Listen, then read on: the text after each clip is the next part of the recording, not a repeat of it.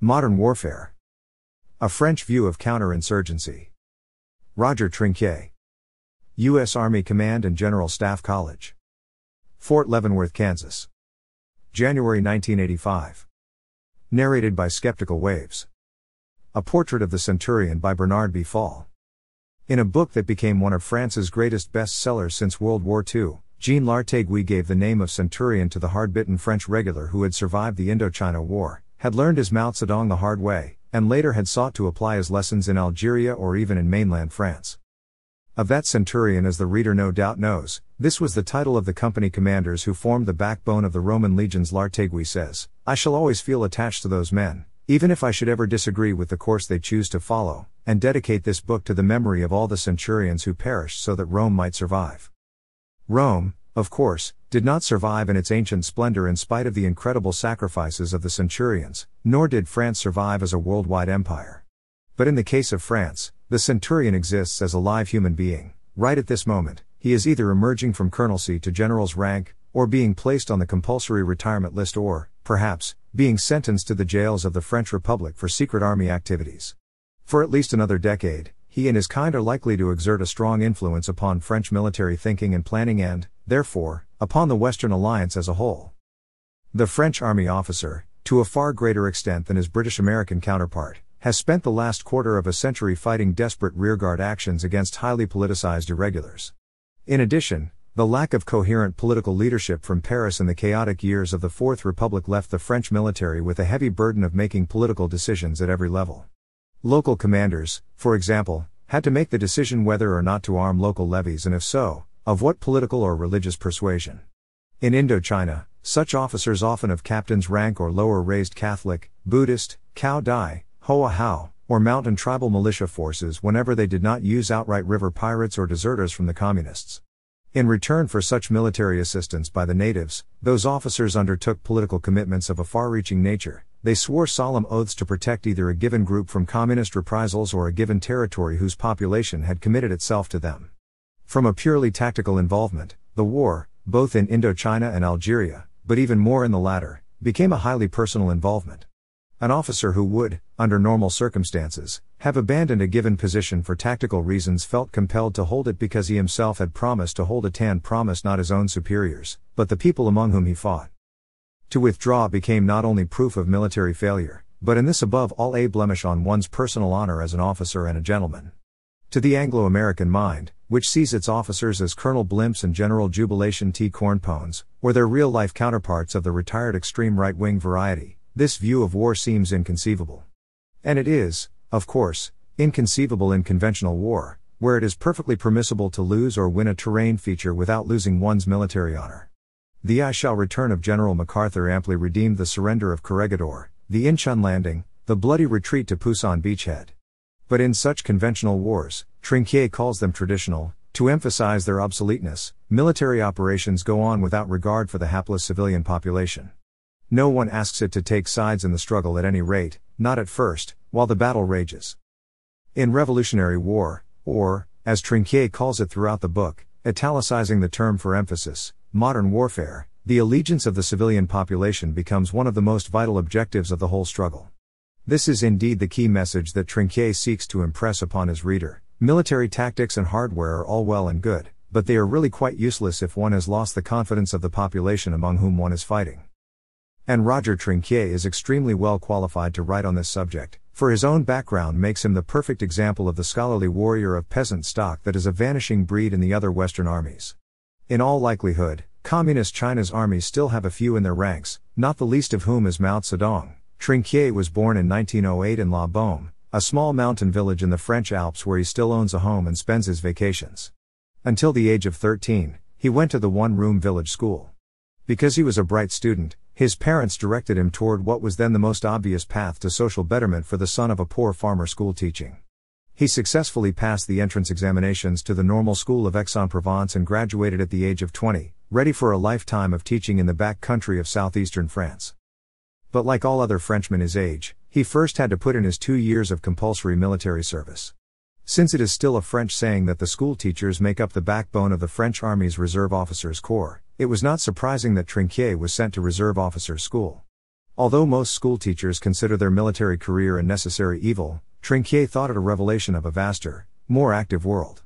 He requested a transfer to the officers' school of St. Maixent, then graduated, in 1931, into the French Marine Infantry, and since the French Marines, they were known as colonials from 1870 until 1961, but have now taken on their old name again, were specifically trained for overseas duty, the young lieutenant soon found himself on a trip to the Far East. His first assignment, as was the rule then, was probably his toughest. He found himself in command of an outpost at Chi Ma, in the wildest and most isolated part of the Sino Tonkinese border region, aptly called the 100,000 Mountains, fighting Chinese pirates and opium smugglers. To stay alive there, one had to rely on native help, and Trinquier quickly learned how to find it. He also learned some of the mountaineer dialects. Upon his return to France in 1937, he was picked for another delicate assignment, as a member of the French Marine Force guarding the international concession in Shanghai, where Japan's aggression had just unleashed World War II. Trinquier was then reassigned to the command of one of the two marine companies guarding the French embassy in Peking. Other major powers, the United States, Britain, Italy, and Japan also had units in the diplomatic enclave.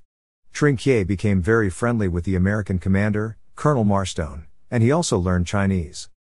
When World War II officially broke out in Europe, in September 1939, Trinquier was transferred back to Shanghai as deputy to the French battalion commander there. Pearl Harbor and its aftermath created an anomalous situation. Although the British and American units in Shanghai were disarmed and interned by the Japanese, the French, because they were under the nominal control of the Vichy government in German occupied France, were left unmolested and fully armed. The Japanese, however, did not trust the Vichy forces indefinitely, having overwhelmed them in Indochina. On March 9, 1945, they did likewise in Shanghai on the following day, whereupon Trinquier got a taste of Japanese imprisonment. The existence of the French units in China was to lead, in at least one instance, to a rather comical situation after VJ Day, when American Marines in full battle gear went ashore near Tianjin, they were greeted by a French Marine detachment that presented arms to them. It was part of the nearby Peking garrison that had picked up its weapons again after the Japanese surrender. Promoted to the rank of captain in 1942 by the Vichy government, Trinquier, like most of his comrades in neighboring Indochina, neither broke with Vichy nor sought to join General de Gaulle's Free French forces, a fact that was later to affect his career decisively. His promotions were to come slowly, and the mutual distrust, more often, dislike, between the Free French officers and those who, though sympathetic to the Allied cause, had remained faithful to their soldier's oath or so they were to rationalize it never quite disappeared. It explains Trinquier's strong animosity toward de Gaulle, which he does not bother to hide and which comes through quite clearly in his political statements. Liberated from the Japanese after VJ Day, Trinquier, like many of his comrades, sought an assignment in Indochina perhaps as a demonstration that his wartime allegiance was dictated by motives other than fear of battle. Arriving in Saigon on January 3, 1948, he became a platoon commander in the commando group of Major Ponchardier, which had been given the difficult task of clearing Viet Minh elements out of the swamps and rice paddies surrounding the city. Upon his return to France, however, Trinquier learned that, like other officers who had remained faithful to Vichy, he was to be dismissed from the service. But since a senior officer who had known him when he was a young second lieutenant at Chima intervened in his behalf, Captain Trinquier was assigned, on February 1, 1947, to Tarbes and Pau, where the French Airborne Training Center had been created. The officer who had saved Trinquier's career was himself an old Indochina hand, General Raoul Salan, later Commander in Chief in Indochina and Algeria. In 1981, he was to lead the revolt against General de Gaulle's Algerian policies. Caught and convicted of attempting to overthrow the French Republic, Salan is now serving a life sentence in a French military prison. On November 14, 1947, Trinquier again landed in Indochina as second in command of the 1st Colonial Parachute Battalion, whose command he was to assume in September 1948, after its commander had been killed in action. Promoted to the rank of major, Trinquier and his unit participated in the grim inch by inch clearing operations on the plain of reeds he was to parachute into it four times and in southern central Vietnam. Those are exactly the same areas in which Vietnamese troops and their American advisors are heavily involved today.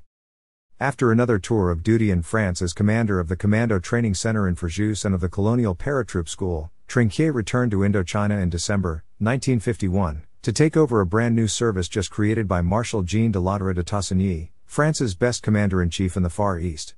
Regrettably, he was to die of cancer within a year. De Lattre had decided to turn the Viet Minh's skill in fighting behind the lines against the Viet Minh itself by implanting anti communist guerrillas deep inside the enemy's territory. In view of his knowledge of the northern hill areas and tribal groups, Trinquier was selected as the leader for the northern operations. His first efforts were soon crowned with success, for contact team after contact team was dropped into enemy territory, and, contrary to expectations, most managed to survive and fight. When Trinquier's methods became known to the American military advisors in Saigon, he was invited to visit American anti guerrilla training centers in Korea and Japan.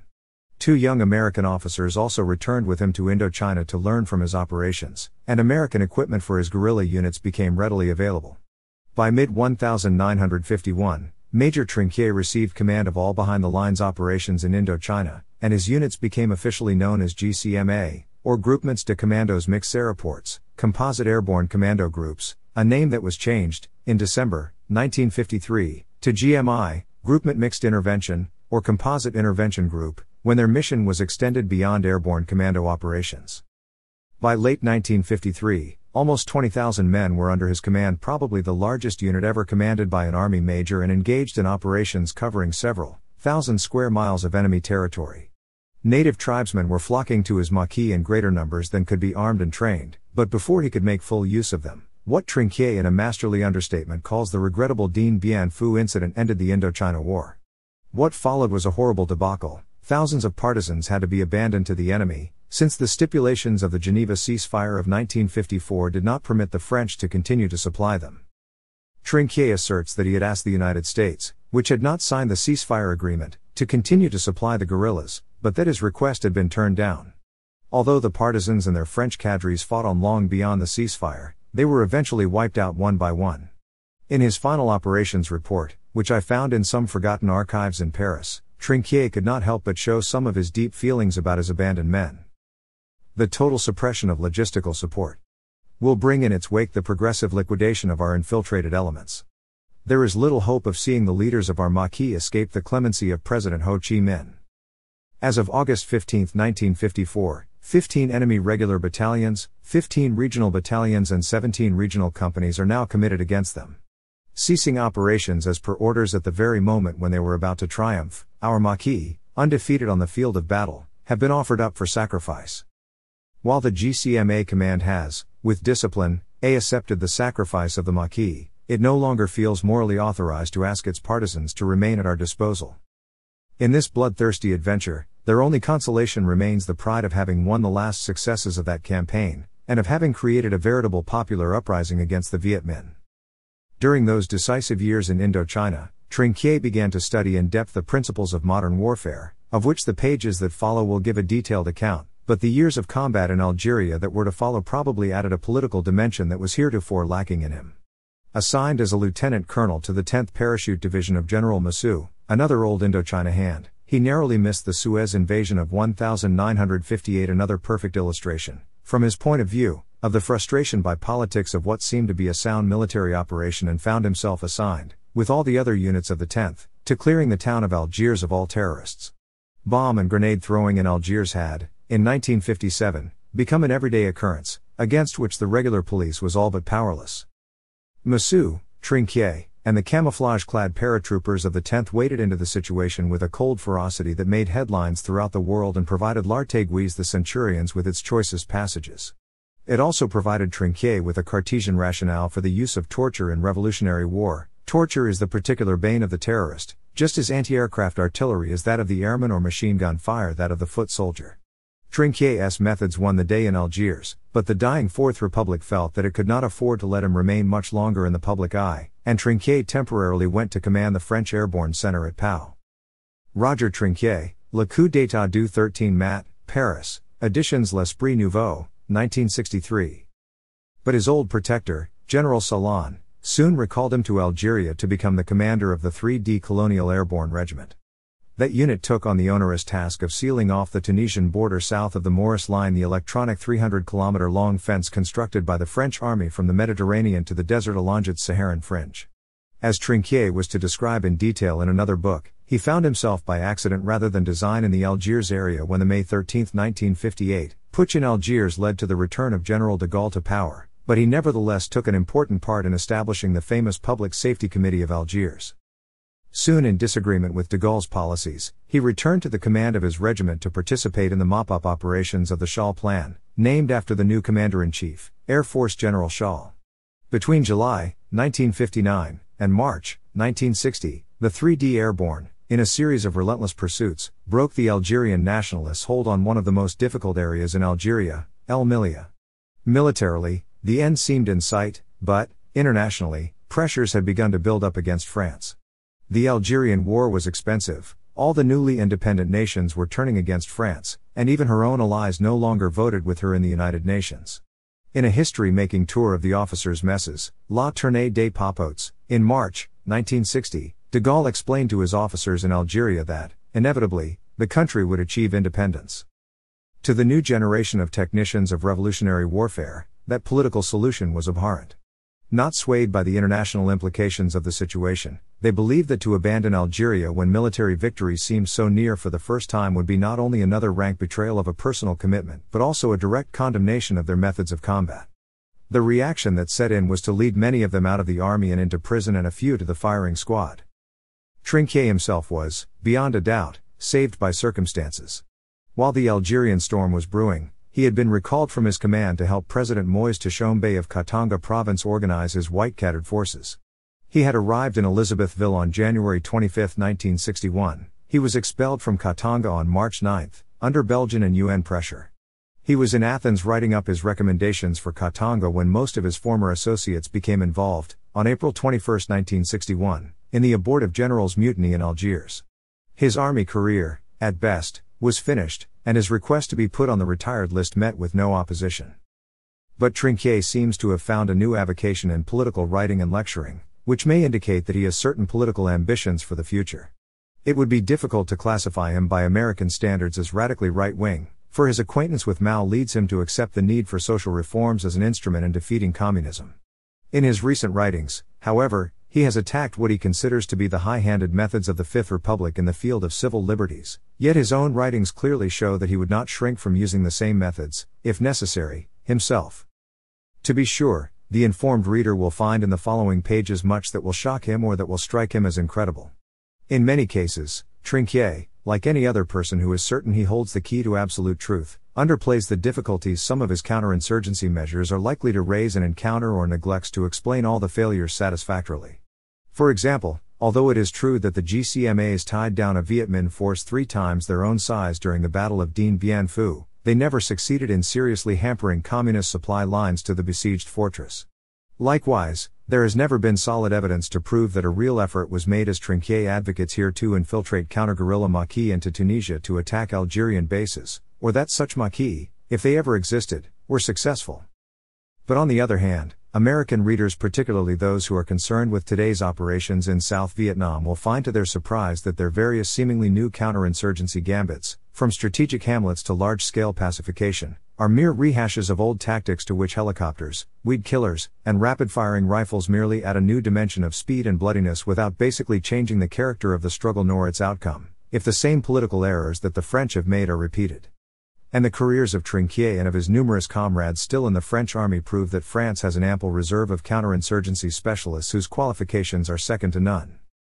It is, once again, Lartéguy who brings into sharp focus that type of soldier, when one of his key characters, just such a revolutionary warfare colonel, jokingly states that France should have two armies one with lovely guns and distinguished and doddering generals, and the other composed entirely of young enthusiasts in camouflaged battle dress, who would not be put on display, but from whom impossible efforts would be demanded. To which another character answers with a warning You're heading for a lot of trouble. But the trouble into which a regular army must inevitably, perhaps fatally, run when it is committed to a long string of revolutionary wars is only dimly perceived in America so far. Colonel Trinquier's book should do much to serve as a timely warning. Alexandria, Virginia, October, 1963. Part 1 Preparation for War. 1. The need to adapt our military apparatus to modern warfare. The defense of national territory is the raison d'etre of an army, it should always be capable of accomplishing this objective. Since the liberation of France in 1945, however, the French army has not been able to halt the collapse of our empire. And yet, the effort the country has made for the army is unprecedented.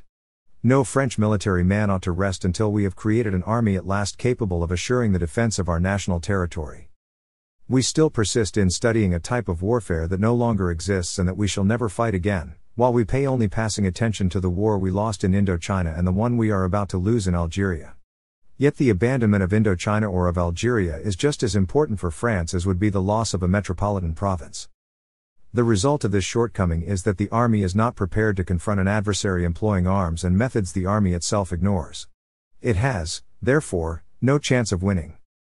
It is a fact that in Indochina, despite a marked superiority in materiel and in troops, we were beaten.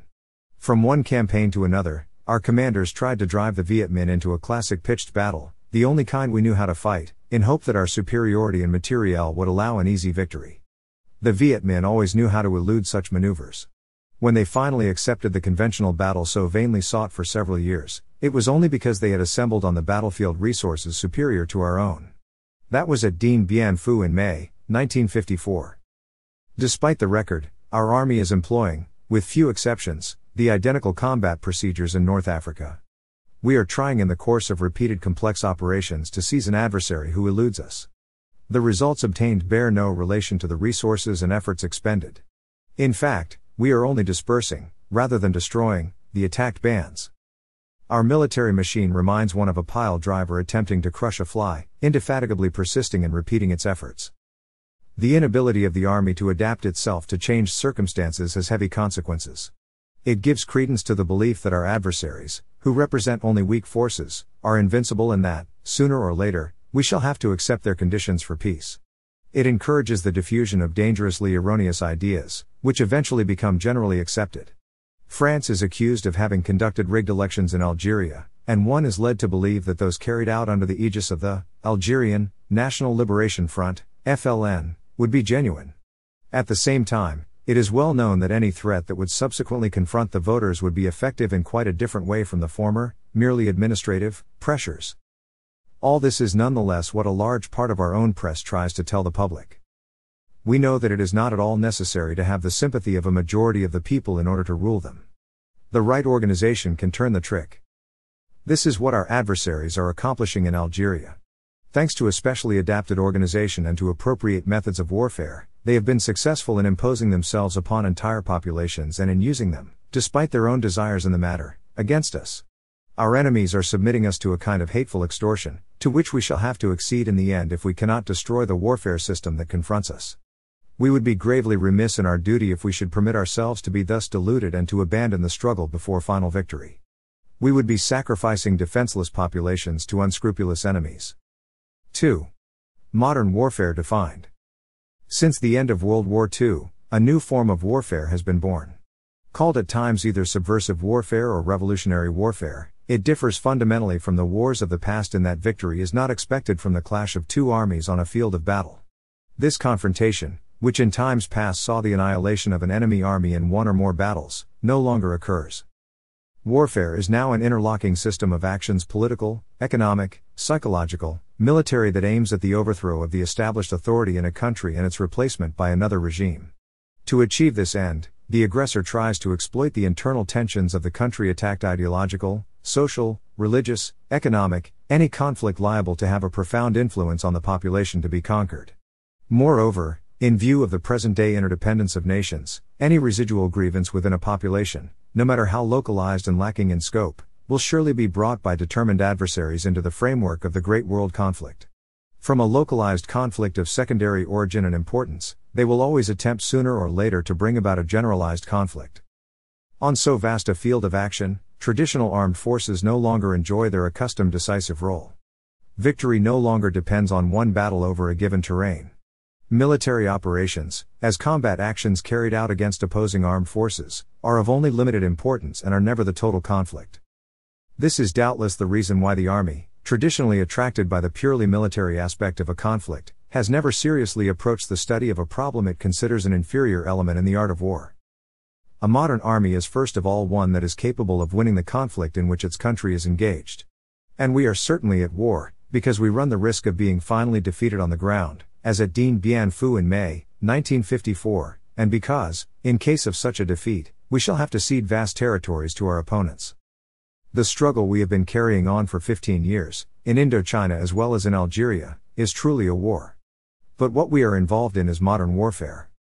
If we want to win, it is in this light that we must consider it from now on. Studies have been made in many countries of what is called subversive warfare.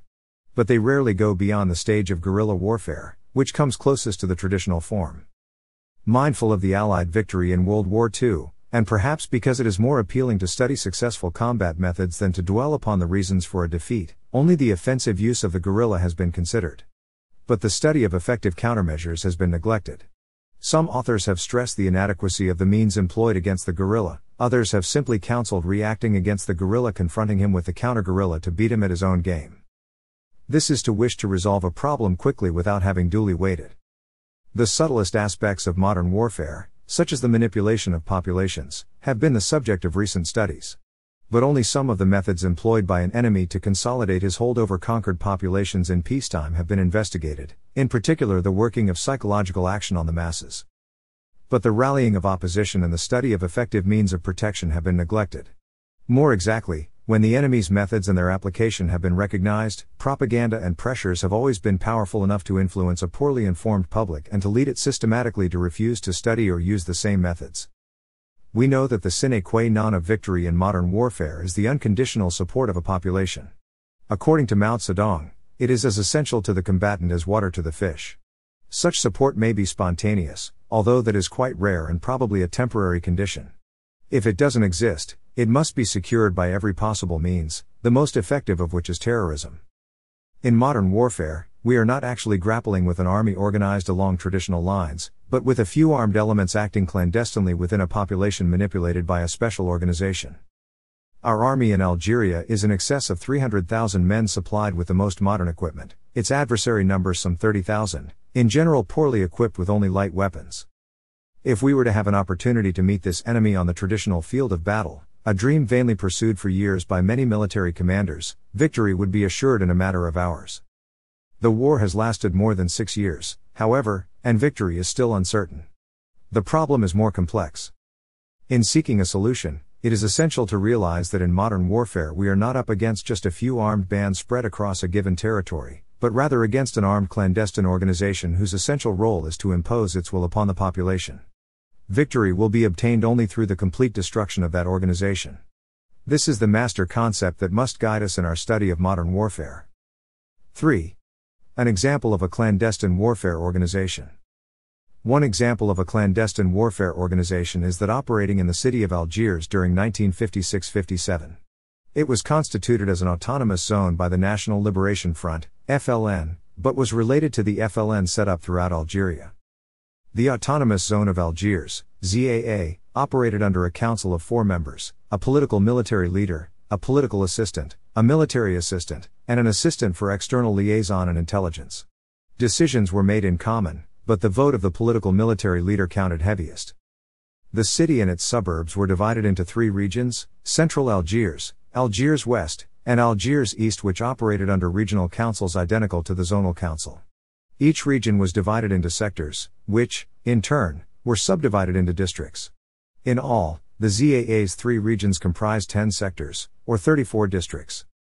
The organization of the ZAA contained two distinct elements the National Liberation Front, FLN, or political arm, and the National Liberation Army, ALN, or military arm. Both were integrated into the same geographical breakdown, but were highly compartmented and were united only at the regional and zonal levels. Units of the ALN and FLN worked side by side in each district, but the regional council was responsible for coordination of their action. The political organization, FLN, of each district based on the demi cell of three men, then the cell, the demi group, the group, and the sub-district was under the command of a district leader, who controlled 127 men. See the table below. Demi cell. 1 demi cell. 3 men. Cell. 2 demi cells plus a cell leader. 7 men. Demi group. 2 cells plus a demi group leader. 15 men. Group. 2 demi groups plus a group leader. 31 men. Subdistrict. 2 groups plus a subdistrict leader. 63 men. District. 2 subdistricts plus a district leader. 127 men. The military organization, ALN, of the district consisted of 35 armed men. The district commander and his deputy were at the head of three armed groups, each headed by a leader and deputy and composed of three cells of three men each. The political organization had at its disposal some armed shock groups of its own that were not part of the ALN. They constituted the FLNS police and were charged with the execution of sentences pronounced by their judiciary. The Zonal Council Assistant for External Liaison and Intelligence had at his disposal a certain number of committees in which were grouped the FLN's intellectuals. The following were the principal committees and their duties. Liaison Committee maintained contact with the wilayas, or major military districts. Algeria was divided by the FLN into six wilayas, with the Committee for External Coordination, CCE, forerunner of the present Provisional Government of the Algerian Republic, GPRA, and with the exterior, Tunisia, Morocco, France. Information Committee at that time the embryo of the Special Services. Editorial Committee maintained United Nations dossiers, reprisal dossiers, relations with the intellectuals, documentation for the French and other foreign press, etc. Justice Committee General Surveillance of French Citizens of Muslim Origin, FMA, judged cases between Muslims in civil and criminal law, imposed various fines, etc. Financial Committee gathered funds from the population at large, using units of the FLN, and, in larger amounts, directly from big companies, banks, leading merchants, etc. Health Committee embryonic in Algiers.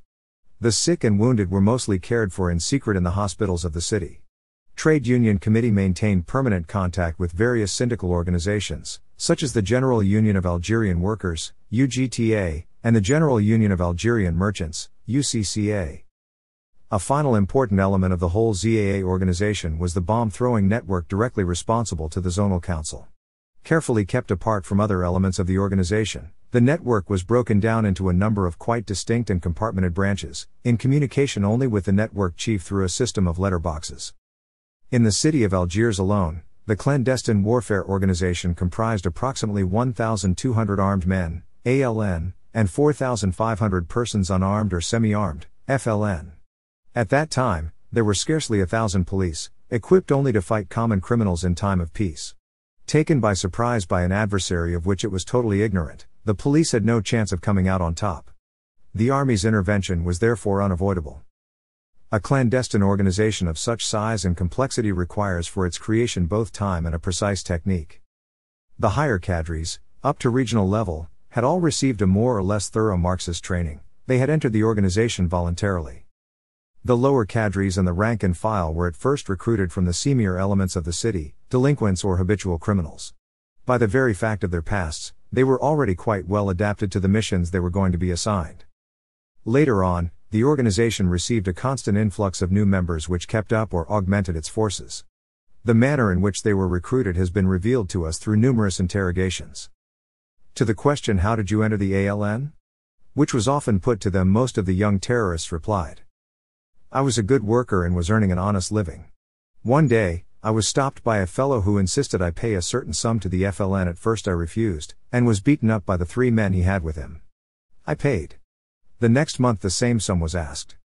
I paid it without argument. Some time later, I became a collector myself. I received a list of persons who were to contribute in a small armed team to protect me during the collection.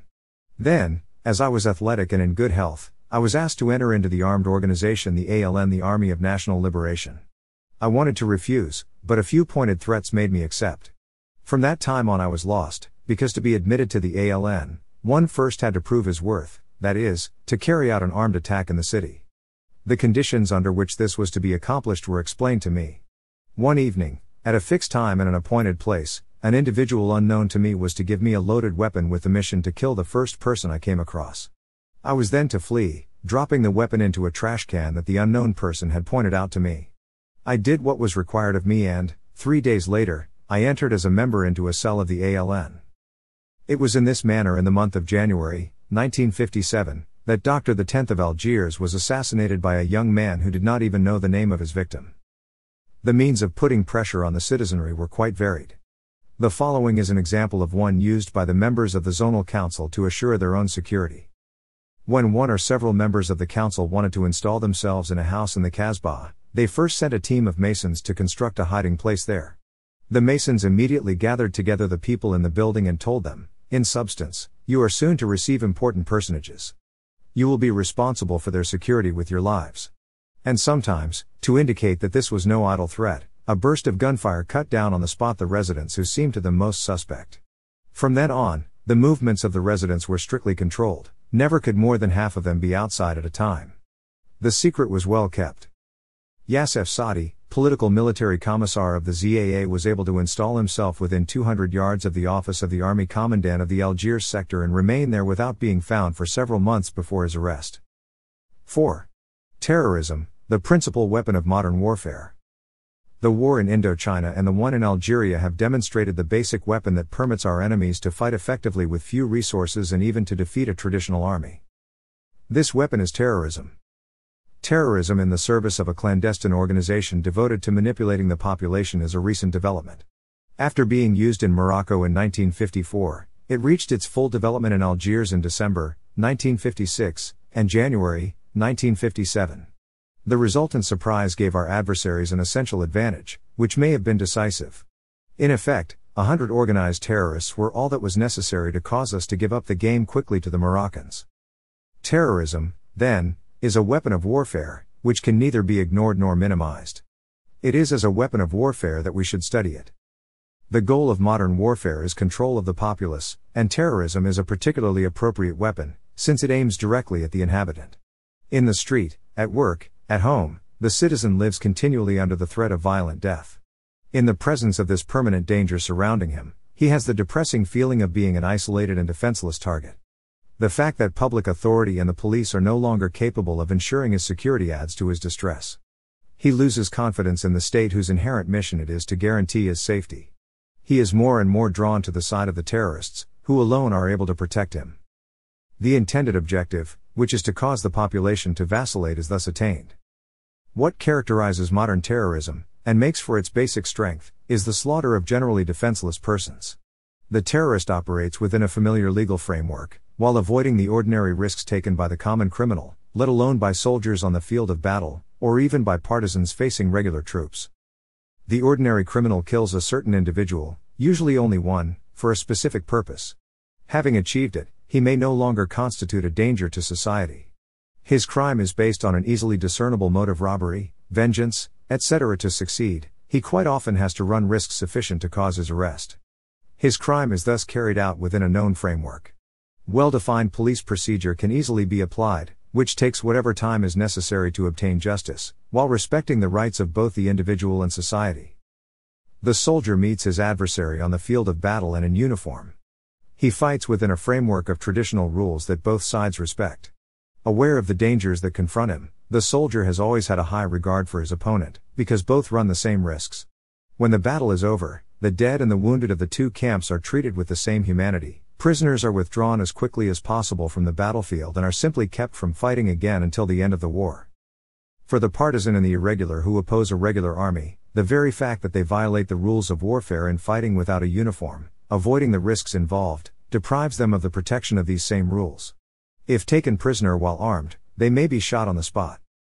But the case of the terrorist is quite otherwise. Not only does he carry on warfare without uniform, but he attacks, far from a field of battle, only unarmed civilians who are incapable of defending themselves and who are normally protected under the rules of warfare.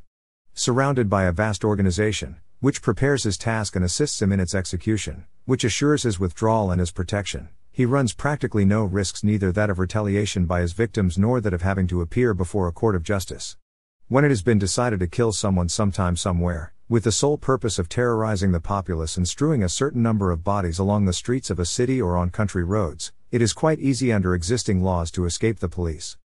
In Algiers, during 1958, the FLN set up the clandestine warfare organization already described, and it was impossible for the police forces to arrest a single terrorist.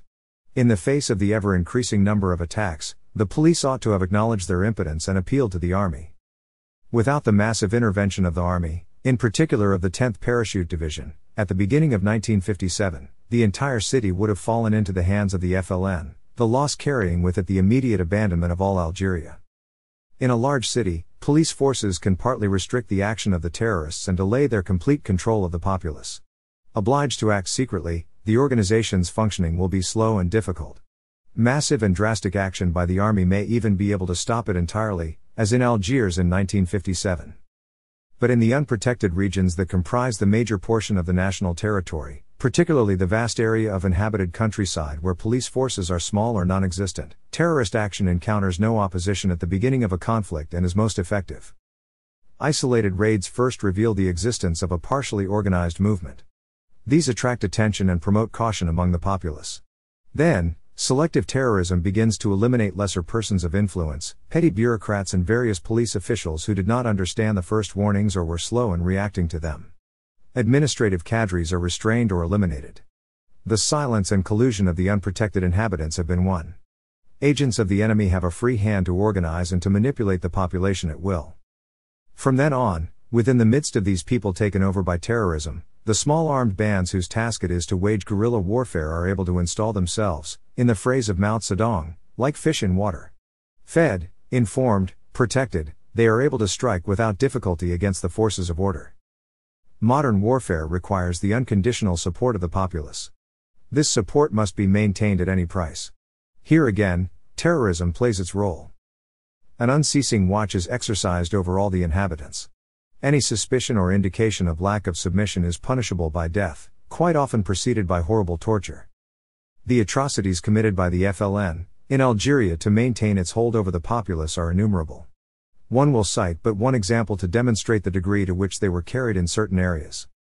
In the month of September, 1958, the forces of order took possession of the files of a military tribunal of one of the regions of the FLN in the canton of Michelet alone, in the arrondissement, district, of Fort National in Kabylie, more than 2,000 inhabitants were condemned to death and executed between November 1, 1954, and April 17, 1957. Quite clearly, terrorism is a weapon of warfare, and it is important to stress it. Although quite old, until recently it has been utilized only by isolated revolutionaries for spectacular attacks, principally against high political personalities, such as sovereigns, chiefs of state, and ministers. Even in Indochina, where guerrillas achieved such a remarkable degree of development that it permitted the Viet Minh finally to win, terrorism has never been systematically employed. For example, the plastic bomb attacks outside the municipal theater in Saigon, which caused the greatest number of victims, were not carried out by the Viet Minh. See Graham Greene's book The Quiet American. The terrorist should not be considered an ordinary criminal. Actually, he fights within the framework of his organization.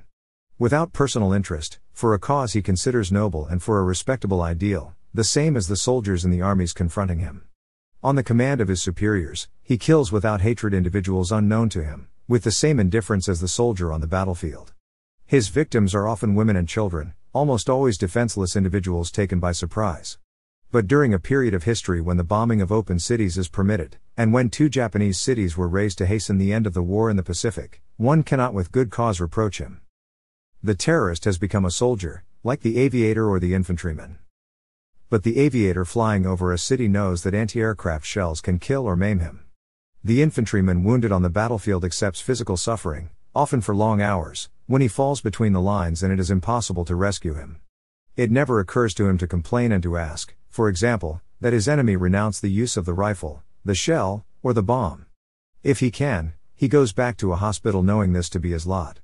The soldier, therefore, admits the possibility of physical suffering as part of the job. The risks he runs on the battlefield and the suffering he endures are the price of the glory he receives. The terrorist claims the same honors while rejecting the same obligations. His kind of organization permits him to escape from the police, his victims cannot defend themselves, and the army cannot use the power of its weapons against him because he hides himself permanently within the midst of a population going about its peaceful pursuits. But he must be made to realize that, when he is captured, he cannot be treated as an ordinary criminal, nor like a prisoner taken on the battlefield. What the forces of order who have arrested him are seeking is not to punish a crime, for which he is otherwise not personally responsible, but, as in any war, the destruction of the enemy army or its surrender. Therefore, he is not asked details about himself or about attacks that he may or may not have committed and that are not of immediate interest, but rather for precise information about his organization. In particular, each man has a superior whom he knows, he will first have to give the name of this person, along with his address, so that it will be possible to proceed with the arrest without delay. No lawyer is present for such an interrogation. If the prisoner gives the information requested, the examination is quickly terminated, if not, specialists must force his secret from him. Then, as a soldier, he must face the suffering, and perhaps the death, he has heretofore managed to avoid. The terrorist must accept this as a condition inherent in his trade and in the methods of warfare that, with full knowledge, his superiors and he himself have chosen. Once the interrogation is finished, however, the terrorist can take his place among soldiers. From then on, he is a prisoner of war like any other, kept from resuming hostilities until the end of the conflict. It would be as useless and unjust to charge him with the attacks he was able to carry out, as to hold responsible the infantrymen or the airmen for the deaths caused by the weapons they use. According to Clausewitz, war is an act of violence intended to compel an opponent to fulfill our will. Self imposed restrictions, almost imperceptible and hardly worth mentioning, termed usages of international law, accompany it without impairing its power. Violence is therefore the means, the compulsory submission of the enemy to our will is the ultimate object. In such dangerous things as war, the errors which proceed from a spirit of benevolence are the worst. As the use of physical power to the utmost extent by no means excludes the cooperation of the intelligence, it follows that he who uses force unsparingly, without reference to the bloodshed involved, must obtain a superiority if his adversary uses less vigor in its application. To introduce into the philosophy of war itself a principle of moderation would be an absurdity. These basic principles of traditional warfare retain all of their validity in modern warfare. Although violence is an unavoidable necessity in warfare, certain unnecessary violence ought to be rigorously banned. Interrogations in modern warfare should be conducted by specialists perfectly versed in the techniques to be employed. The first condition for a quick and effective interrogation is to have interrogators who know what they can ask the terrorist under questioning. For this, it is first of all essential to place him precisely within the diagram of the organization to which he belongs. A profound knowledge of the organization is required. It is useless to ask a funds collector about caches of weapons or bombs. Every clandestine organization is strictly compartmented, and he would know nothing about them. To ask him would be a useless waste of time. On the other hand, he does know to whom he remits the funds and under what conditions. This is the only subject about which he should be questioned. It is known that the ordinary terrorist operates as part of a three man team, therefore, he knows his comrade and his demi cell superior. This is the only information he will be able to furnish, but he must give it quickly, otherwise, the individuals sought will have the time to disappear, the thread will be broken, and a lengthy search will quite often come to naught. The interrogators must always strive not to injure the physical and moral integrity of individuals. Science can easily place at the Army's disposition the means for obtaining what is sought. But we must not trifle with our responsibilities. It is deceitful to permit artillery or aviation to bomb villages and slaughter women and children, while the real enemy usually escapes, and to refuse interrogation specialists the right to seize the truly guilty terrorist and spare the innocent. Terrorism in the hands of our adversaries has become a formidable weapon of war that we can no longer permit ourselves to ignore.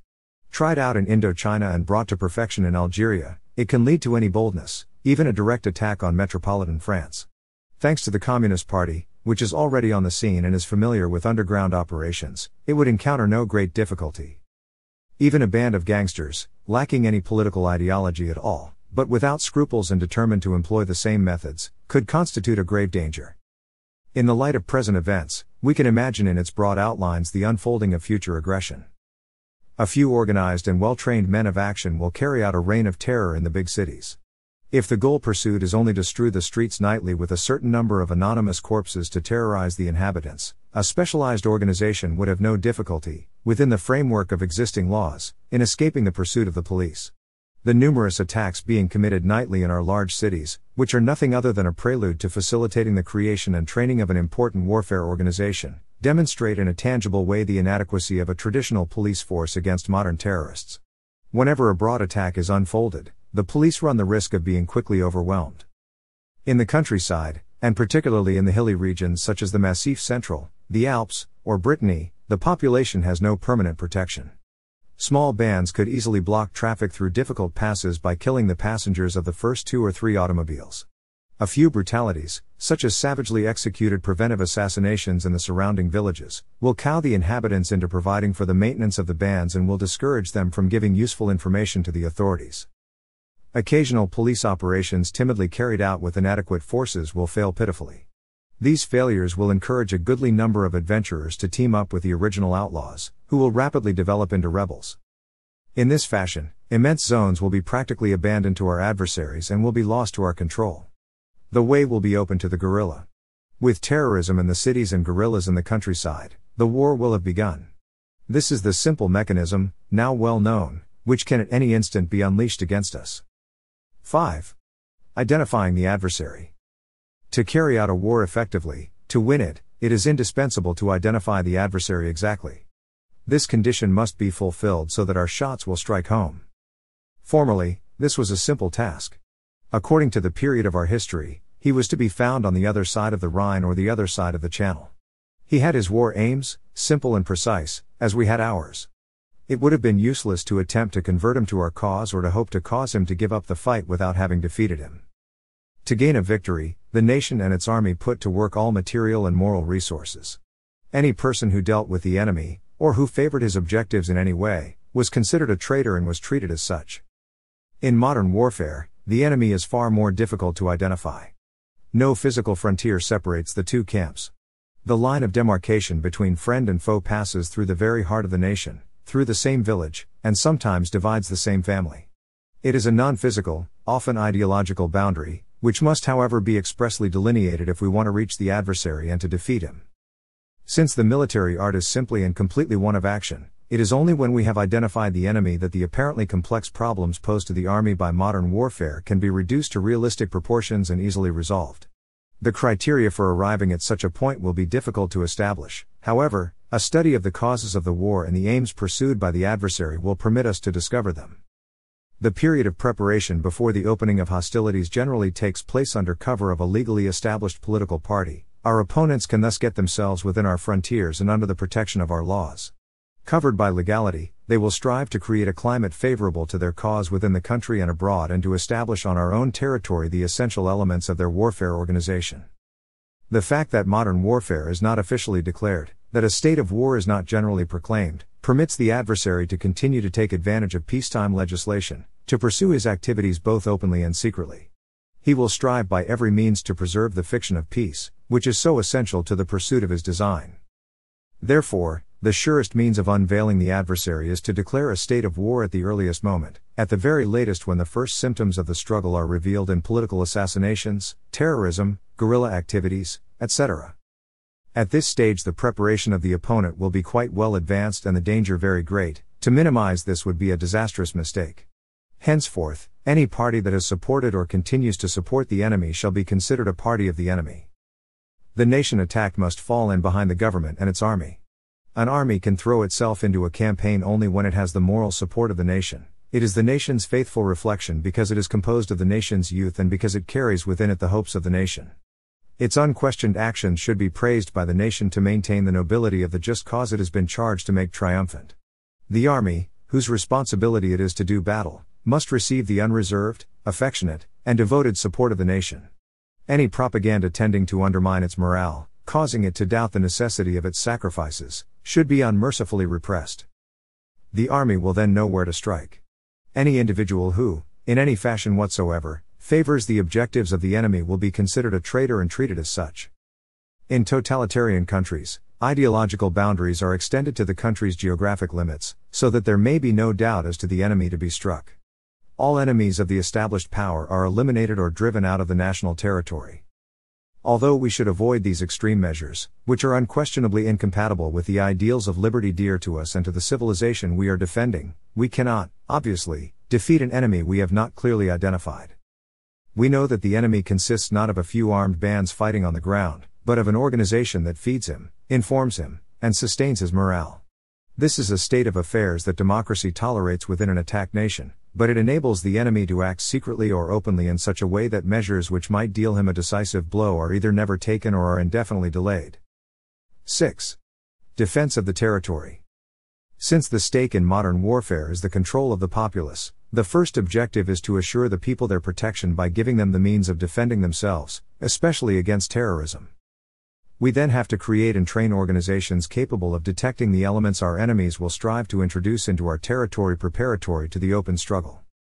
Finally, if hostilities break out, if terrorism and guerrilla activity have established themselves over a large portion of our territory, we must combat them with the appropriate methods, which will be far more effective than those which would have been considered and used in peacetime. The Inhabitants Organization. Military schools teaching classic doctrines of warfare rely upon a number of decision factors the mission, the enemy, the terrain, and the resources. But one factor that is essential to the conduct of modern warfare is omitted the inhabitant. The battlefield today is no longer restricted. It is limitless, it can encompass entire nations. The inhabitant in his home is the center of the conflict. Amidst the continuing movement of military actions, he is the stablest element. Like it or not, the two camps are compelled to make him participate in the combat. In a certain sense, he has become a combatant also.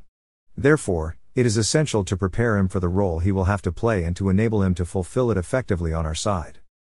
For the inhabitant to elude the threats of the enemy, to cease to be an isolated target that no police force can protect, we must have him participate in his own defense. To this end, we have him enter into a structured organization encompassing the entire population. No one shall be able to avoid this service, and each person at any moment will be subject to the orders of his civil or military superiors to participate in protective measures. Control of the masses through a tight organization, often through several parallel organizations, is the master weapon of modern warfare. This is what permits the enemy to uncover quickly any hostile element within a subjugated population. Only when we have created a similar organization will we be able to discover, and as quickly eliminate, those individuals the enemy tries to introduce among us. The creation of such an organization may run into serious difficulties, but they are not insurmountable if we firmly desire to succeed. There will be no lack of goodwill, danger will create it. The experience of the Battle of Algiers provides us with a sound basis for this assumption. First, we designate an energetic and intelligent man in each city who will, with one or more reliable assistants, build the projected organization with a minimum of help from the authorities.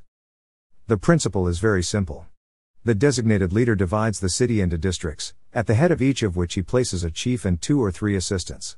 These, in turn, divide the district into subdistricts and designate a chief and several assistants for each of them.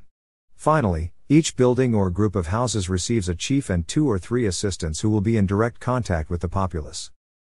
Careful investigation is necessary before designating members of the organization and to prevent failures. Nevertheless, making each member responsible for the designation and control of his immediate subordinates will permit rapid creation of the organization on a sound foundation. In our overseas territories or during a period of crisis at home, when for a variety of reasons we may not be sure of the loyalty of the people, particularly if the enemy organization previously created is sufficiently strong to oblige the population to walk carefully, the problem will be more complex, since the inhabitants will reject any responsibility that might subject them to the adversary's retaliation. In this case, the pyramid of our organization is created from the bottom up by the police forces charged with maintaining order. Mobile gendarmerie squadrons, with their accustomed police contacts with the people, will be especially qualified to perform this delicate task. First, they conduct a careful census of the entire population. The basic leader of the organizational structure will be the head of the family. He is made responsible for all inhabitants of his apartment or house, and for keeping up to date the list established at the time of the census. During the taking of the census, we designate at the next echelon a chief of a group of houses, or of a building, or a floor of a building, who will be responsible for a certain number of heads of family, four or five at most. Finally, when the census is completed and a close relationship established with the population, chiefs of subdistricts will be designated. According to the way in which the city is divided up, it will be possible for a subdistrict leader to be made responsible for some 10 chiefs of house groups. Since this individual will play a key role, the district commander should appoint him and then only after careful investigation. The essential quality of a potential subdistrict leader is that he have firm attachments in the subdistrict, a business or shop, affluence, a large family. That is, he should have a standard of living or family ties that it would be difficult for him to abandon. There will be no structural echelon above the subdistrict leader. His role is too important for him to be easily commanded, and he will be too vulnerable a target for the enemy. The organization will actually be a pyramid of which the subdistrict leader will constitute the apex. In case of war, a special civil and military organism is set up for an entire medium sized city or for districts in the larger cities. Its essential role is to transmit orders to the subdistrict leaders, to see to their execution, and to gather information the subdistrict leaders will provide. Having permanent contact with the subdistrict leaders, this special organism will ensure continuing and correct execution of instructions issued to the various echelons of the organization. The population census will permit each inhabitant to be given a census card, one or two copies of which will remain in the possession of the forces of order. The card will include a photograph of the individual, as well as, say, his house group number, for example, 3, the letter of the subdistrict, b, the number of the district, 2, and the letter designating the city, a, the result will constitute what amounts to a catalog number, A.2.B.3, which will, in the course of frequent checks, enable us to keep tabs on each individual and on the ability of the leaders upon whom he depends. This organization will permit the command to enlist the participation of the populace in its own protection. To a certain extent, it will be able to participate in the tasks of the forces of order and carry out simple police missions. Detection, surveillance, and occasionally the arrest of dangerous individuals will be managed without difficulty, and the transmission of instructions will always be easy and quick. The organization will rapidly become one of the essential elements of the territorial command and will assume an ever increasing importance. A special office, which we shall call the Bureau of the Inhabitants Organization and Control, will be necessary to monitor the organization's activity.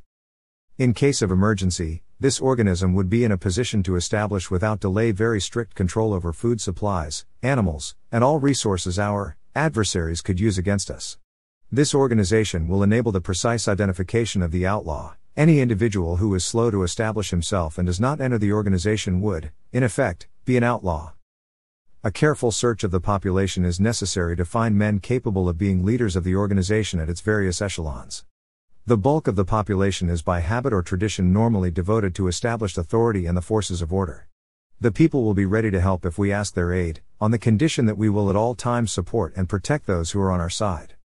This protection is one of the essential missions of the Inhabitants Organization. Goodwill is never lacking even in the most troubled of times. Indochina and, later, Algeria have amply proven this. But we ought never to forget that ambition has always been a powerful incentive for a young and dynamic elite that wishes to get out of its rut and arrive. It is largely to this youth that we must appeal. We must bind them to us and compensate services rendered according to their worth. Finally, of course, we may always assure ourselves of their loyalty by placing them within an organization it will be difficult to leave once admitted.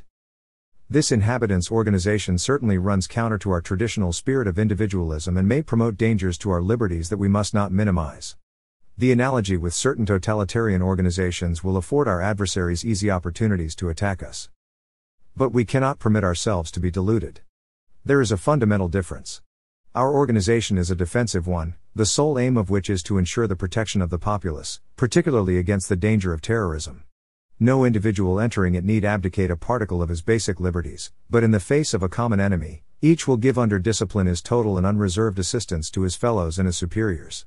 Once the war is won or the danger has passed, our organization will have no reason to exist. Abuses are always possible. The organization will have to be seriously controlled, so that it remains solely a means of protection against the external enemy and does not become a vehicle for internal political pressure. This cannot happen if it is created in a spirit of justice and if the burdens it necessitates are equitably shared among all the inhabitants of a given region, no matter what their social circumstances may be. One should not lose sight of the fact that this is the sole means we have to assure the protection of peaceful citizens and to prevent terrorism from forcing them into a harsh and inhuman servitude. Formerly, nations spent huge sums for the construction of fortifications designed to protect themselves against invasion. Today, the Inhabitants Organization, the elite formation designed as a framework for protection and to give us information about the enemy's clandestine penetration of our territory, constitutes the modem means of defense against modern warfare. Any country that does not create such an organization runs a permanent danger of being invaded. The financial outlays called for cannot be compared with those needed for the construction of elaborate fortifications. We have no excuse if we do not create such an organization. Countrywide intelligence. With a reliable intelligence service, we would be able to detect all infiltration attempts against our territory and to discover who are those indispensable to the enemy's preparation of his projected offensive action. The inhabitants will know them, since they suffer terribly from their activities, but will not denounce these agents unless they can do so without risk. Fear of reprisal will always prevent them from communicating to us information they possess. The inhabitants' organization, which in large measure assures their security, will therefore be an important organism for information. In its very creation, it passes the entire population through a sieve and learns the circumstances in which each person lives. Contacts are made, and a certain confidence in the forces of order established. Then, frequent meetings of responsible leaders at various echelons will permit regular and frequent relations between the authorities and qualified representatives of the people. Much information will also be gathered, the source of which our adversaries will not succeed in discovering. We will thus have created an initial element of security and understanding. We cannot hope to transform all the inhabitants into agents. But since modern warfare asserts its presence on the totality of the population, we have to be everywhere informed. Therefore, we must have a vast intelligence network, which ought to be set up, if possible, before the opening of hostilities. During a period of crisis, we complain of not being better informed. We accuse the people unjustly of concealing the truth or of not giving us the information they possess. And very often, because we have not prepared anything, we will be tempted to obtain by violence information that a well organized service would have given us without difficulty. Selective terrorism, as we have seen, will, even before the opening of hostilities, put an end to our regular intelligence agents. Leaders and small functionaries are its first victims. The threat of the enemy's warfare organization quickly condemns the population to silence. When hostilities begin, we shall be cut off precipitously from all sources of information if we have made no provision to guard against it. Even before the inhabitants have been organized, we ought to give a portion of the populace the chance of informing us securely. The time is past when a specialized service could recruit a few agents haphazardly and from a quite special sector of society. We have to have numerous and secretly established centers of accelerated training, where we will be able to train quickly a great number of inhabitants in the agent roles we shall ask them to play. Their training will be essentially practical. It will be limited to teaching them a few elementary procedures for transmitting simple information, telephone, letterbox, dead drop, etc., which will be sufficient to ensure their protection. We then distribute them throughout all phases of human activity factories, yards, administrative offices, the large public services everywhere people gather, we will be present, thanks to them. We shall almost always be able to recruit them in the very circles of interest to us. If not, we shall get them jobs appropriate to their professional or vocational aptitudes that will serve them as cover. These benevolent agents can give us information on their milieu and inform us of the agents the enemy attempts to infiltrate into the population that is, such basic activists as fund collectors, propagandists, strike leaders, etc., who usually constitute the first echelon of the opponent's organization. Working among them, often in their very midst, our agents can discover them without difficulty. This intelligence network, despite its extent and the considerable number of agents it will put to work, can be created at little expense. Their employment itself will provide the agents with a steady income. Various premiums for production will usually be sufficient to sustain their enthusiasm.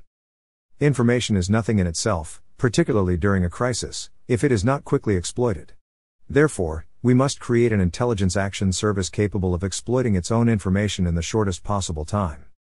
Certain individuals of our broadly based intelligence system, after proving their exceptional qualities, will be able to enter the intelligence action service. They ought to be capable of detecting, following, and sometimes even arresting the enemy agents they uncover. But our best agents will be furnished to us by the enemy himself. During the course of interrogations, we should always bear in mind that the majority of individuals arrested, if we have enough flexibility, can change camp. Many among them have passed over to the service of the enemy only through duress and have been kept there solely by a continuing threat of blackmail. If we generously offer them another path with our protection, they will become our most faithful collaborators. As for others, it will suffice to lead them to denounce openly members of the organization whom they know, particularly their superiors and their subordinates. From then on, they are no longer able to betray us and will collaborate with us if only to assure their own protection. Finally, experience has demonstrated that, although confessions and conversions may be difficult to obtain at lower echelons, they are, at a higher level, and especially among intellectuals, usually easy and quick. It is thus that we shall recruit the basic agents of our Intelligence Action Service. Well trained by specialists of the forces of order, they will themselves be prepared to exploit their own information in the destruction of the opposing organization. But, except for a few individuals capable of playing a double agent role, profitable use of them is of short duration. We shall have to renew them frequently, particularly after all their information has been exploited. This service should cooperate with all the elements charged with exploiting leads, be prepared to follow closely all police operations, and be au courant of all arrests so as to utilize to the maximum all recruitment possibilities. A well organized intelligence service can make us aware of the structure of the warfare organization our opponents seek to implant upon our territory. The most effective solution would no doubt consist of destroying these opponents before they constitute a danger. However, if for various reasons in general, political ones, we are not authorized to do this, we ought to observe their development closely so as to be in a position to arrest them the moment the order is given. The best way to be well informed consists in introducing our own agents into the organization of the enemy and in corrupting his agents. this is a delicate task that only a few proven agents will be able to accomplish. As the adversary's organization begins to expand, our opponents, working in an enemy country, will find that their freedom of action becomes more limited.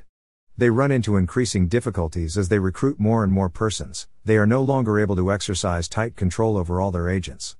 Then we will have the opportunities of introducing our own agents into their organization, and we ought to exploit them. Here again, the best candidates will be furnished to us by the enemy himself. The security of a clandestine organization is assured by rigorous compartmentation. Personal contacts are, for reasons of security, rare at higher echelons. A well trained intelligence action service should be able to make frequent arrests of members of the enemy organization in utmost secrecy. We should try to make them pass quickly into our service, permitting them to remain within their own organization after having established a sure system of communications.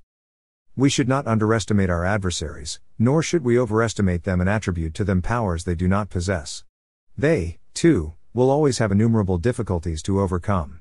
The thing that makes their task easy is the absence of a special service created to combat them, and the practically total freedom we permit them in the field of clandestinity. If we prepare ourselves in peacetime to face modern warfare, if we provide the people with a means of defending themselves, if we take precautions to be informed at all times of the preparations and the intentions of our adversaries, then we shall have no difficulty in quickly taking the necessary action when the time comes to reduce our adversaries to impotence. This capability will not go unnoticed, in itself, it may be sufficient to discourage any attempt at a trial of force and serve to maintain the peace. 1f, however, our adversaries should decide to pass over to open warfare, we would have at hand the means of crushing any enemy who attempts to carry the war onto our territory. But if the measures described above are not adopted, our adversaries will be able to undertake an open struggle to attain their final objective, which is to overthrow the established authority and to replace it with their own system. Since it is the population that is at stake, the struggle will assume two aspects political direct action on the population, and military the struggle against the armed forces of the aggressor. Our adversaries will not open hostilities until a certain number of preliminary conditions have been realized. By that time, their infiltration of our position will be profound and extensive. It will be possible to eradicate it only by powerful means, a firm intention to prevail, and a considerable investment in time. Part 2 The political and military conduct of the war. 1. The political aspect. 7. Direct action on the populations of cities. Internal warfare within a population, particularly in cities, generally involves an extensive police operation. There is also an intensive propaganda effort destined primarily to make the steps that are taken understood. A broad social program follows, the objective of which is to give the people the material and moral assistance necessary to permit them to resume their normal activities quickly after operations are over. We have seen how action against the population is conducted by the enemy, and we stress the primary role of terrorism supported by a warfare organization. Any actions taken in cities against enemy organizations will be essentially broad police operations and will be performed by the regular police forces if these are adequate and capable. If not, the Army may take over the task. The mission of the police operation is not merely to seek a few individuals who have carried out terrorist attacks, but to eliminate from the midst of the population the entire enemy organization that has infiltrated it and is manipulating it at will. Simultaneously, units of the army will spread their activity throughout the entire city, throwing over it an immense net to overlay the police forces already in place. The police organization will not be disturbed, but will continue to operate within its normal framework while cooperating completely with the army. Without fear of reaction from the enemy, the Army will operate in light detachments. A highly mobile reserve element, the size of a company, will usually allow the handling of any unforeseen eventuality in even a large city. The police forces can take advantage of the Army's presence and the protection and assistance that it will afford to undertake without delay, as described in the preceding chapter, the organization and control of the population, the creation of a broadly based intelligence service, and the establishment of an intelligence action service, all of which ought to start functioning as quickly as possible. In this way, we can oppose the enemy with our own organization. If we are serious, it will quickly be in place. Working openly in a systematic way and with great resources, the forces of order will often be able to outrun the enemy, who, obliged to operate in secret, has only limited resources at his disposal. Then, in collaboration with the police services, we obtain as much information as possible on the organization to be destroyed and then reconstruct, if possible, its organizational chart. Since it is adapted to each city according to the city's importance and the local situation, the organization will rarely be very different in its general structure from that of Algiers in 1956 57, described at the beginning of this study. The forces of order must simultaneously initiate normal police operations, which from the outset will run into serious difficulties.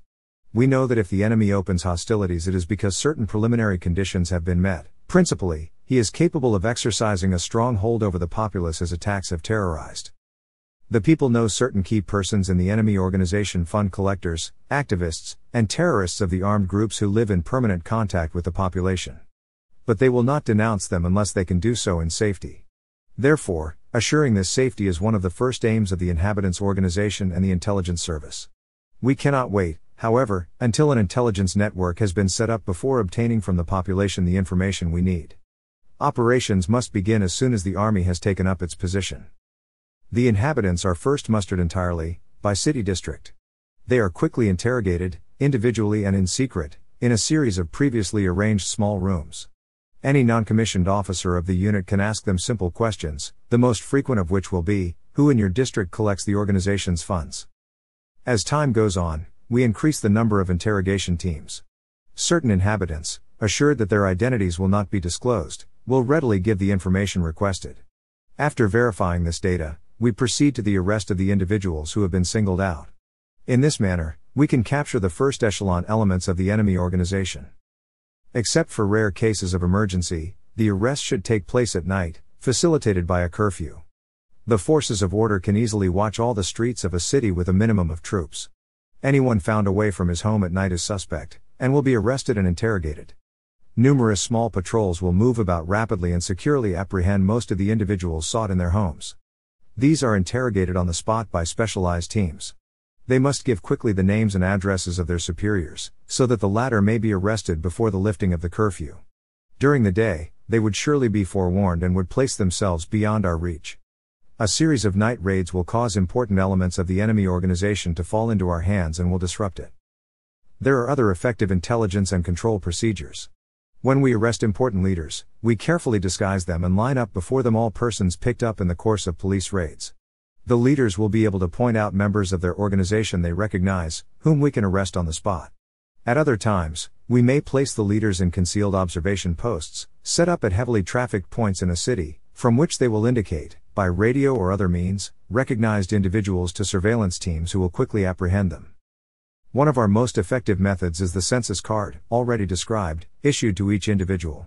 Of course, the important members of the enemy organization always have one or more pseudonyms, but certain inhabitants have met them at one time or other, although they may not know their name, function, or place of residence. However, they can readily recognize them from the photographs on the copies of the census card retained by the authorities. At one time, we can obtain not only their exact address, but also the names of those who are responsible for their movements, chiefs of house groups and chiefs of subdistricts. But the conduct of a police operation in the middle of a city raises numerous difficulties. We should note the main ones so that we may be able to overcome them. 1. Modern warfare is a new experience for the majority of our fellow citizens. Even among our friends, the systematic conduct of raids will run into opposition, resulting generally from a total lack of understanding of the enemy and his methods of warfare. This will often be very difficult to overcome.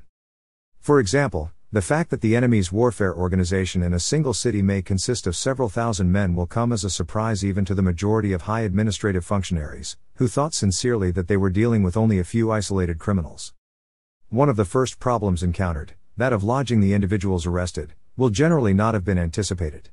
Prisons, designed essentially to accommodate offenders against common law, will rapidly become inadequate and will not meet our needs we will be compelled to intern the prisoners under improvised, often deplorable conditions, which will lead to justifiable criticism our adversaries will exploit.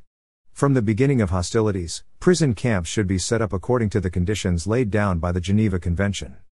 They should be sufficiently large to take care of all prisoners until the end of the war. 2. By every means, and this is a quite legitimate tactic, our opponents will seek to slow down and, if possible, put an end to our operations.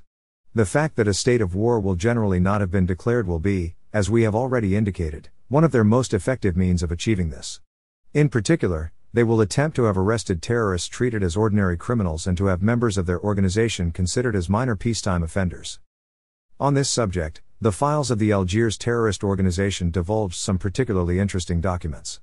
We are no longer protected by legality, wrote the chief of the Algiers FLN in 1957, when the army had taken over the functions of the police. We ask all our friends to do the impossible to have legality re-established, otherwise we are lost. Actually, the peacetime laws gave our enemies maximum opportunities for evading pursuit, it was vital to them that legality be strictly applied. The appeal was not launched in vain. Shortly thereafter, a violent press campaign was unleashed, both in France and abroad, demanding that peacetime laws be strictly adhered to in the course of police operations. 3. Warfare operations, especially those of a police nature in a large city, take place in the very midst of the populace, almost in public, whereas formerly they occurred on a battlefield, to which only armed forces had access. Certain harsh actions can easily pass for brutalities in the eyes of a sensitive public. And it is a fact also that, in the process of extirpating the terrorist organization from their midst, the people will be manhandled, lined up, interrogated, searched. Day and night, armed soldiers will make unexpected intrusions into the homes of peaceful citizens to carry out necessary arrests. Fighting may occur in which the inhabitants will suffer. People who know our adversaries will not protest in submitting to inconveniences they know to be necessary for the recovery of their liberty. But our enemies will not fail to exploit the situation for their propaganda needs.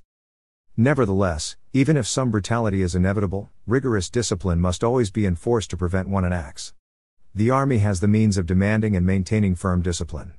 It has at its disposal its own system of justice, precisely created to check quickly misdeeds or crimes committed by military personnel in the exercise of their duties. The Army must apply the law without hesitation.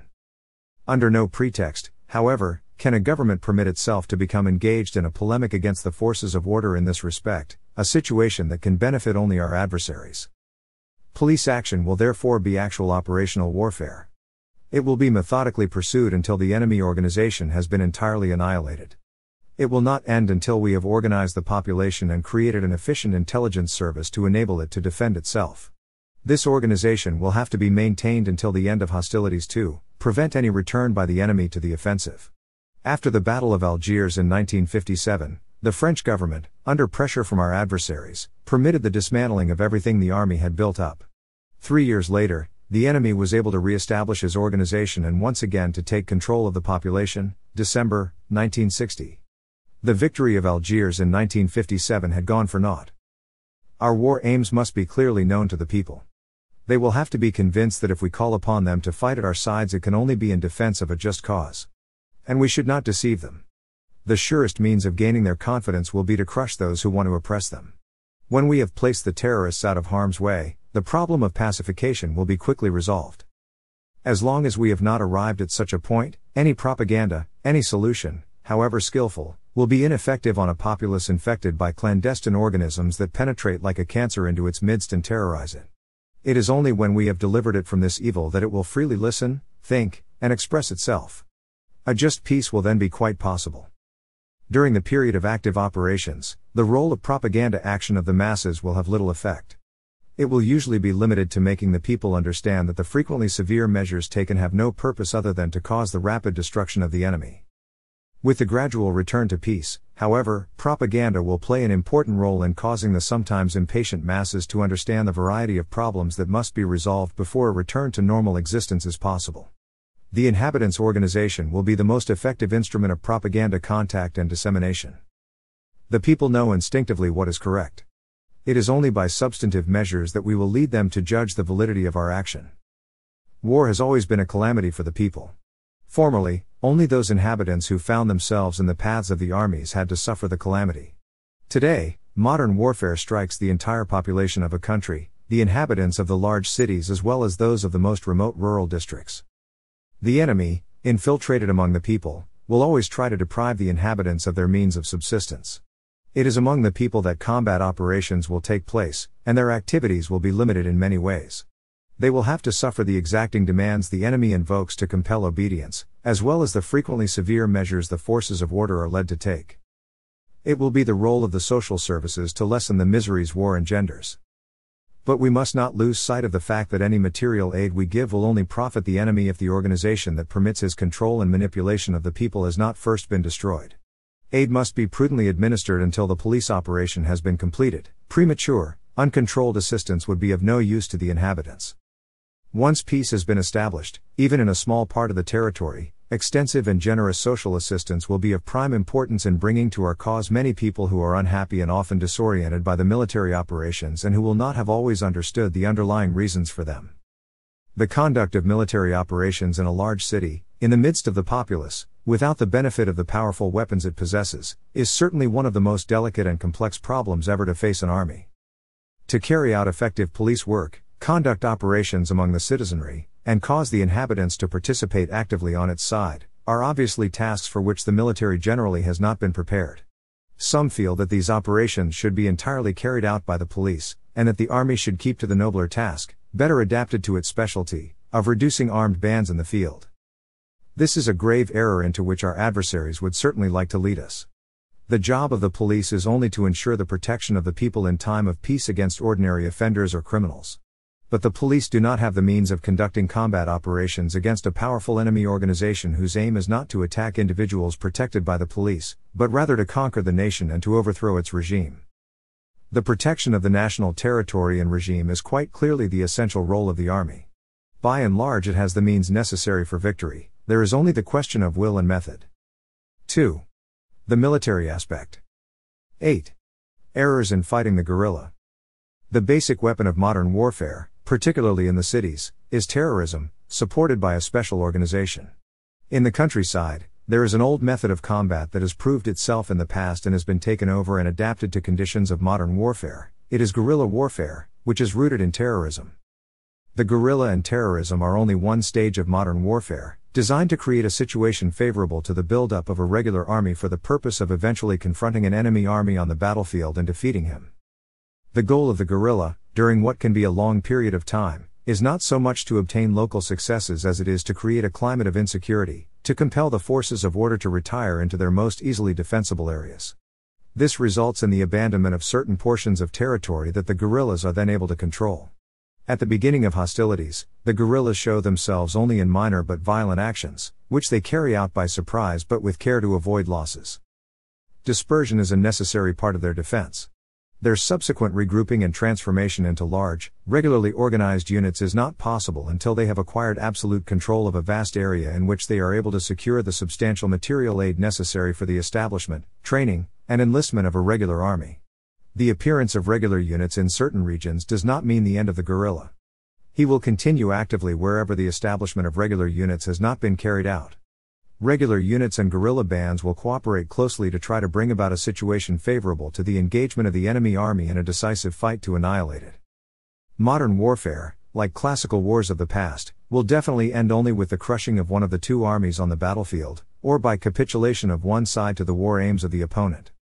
The origin, evolution, and efficacy of the guerrilla are well known. Many authors have studied him, particularly in the various theaters of operation of World War II. He was unquestionably a success in Russia, France, and Yugoslavia. In China and Indochina, it was possible to lead him to a final victory over well equipped regular modem armies.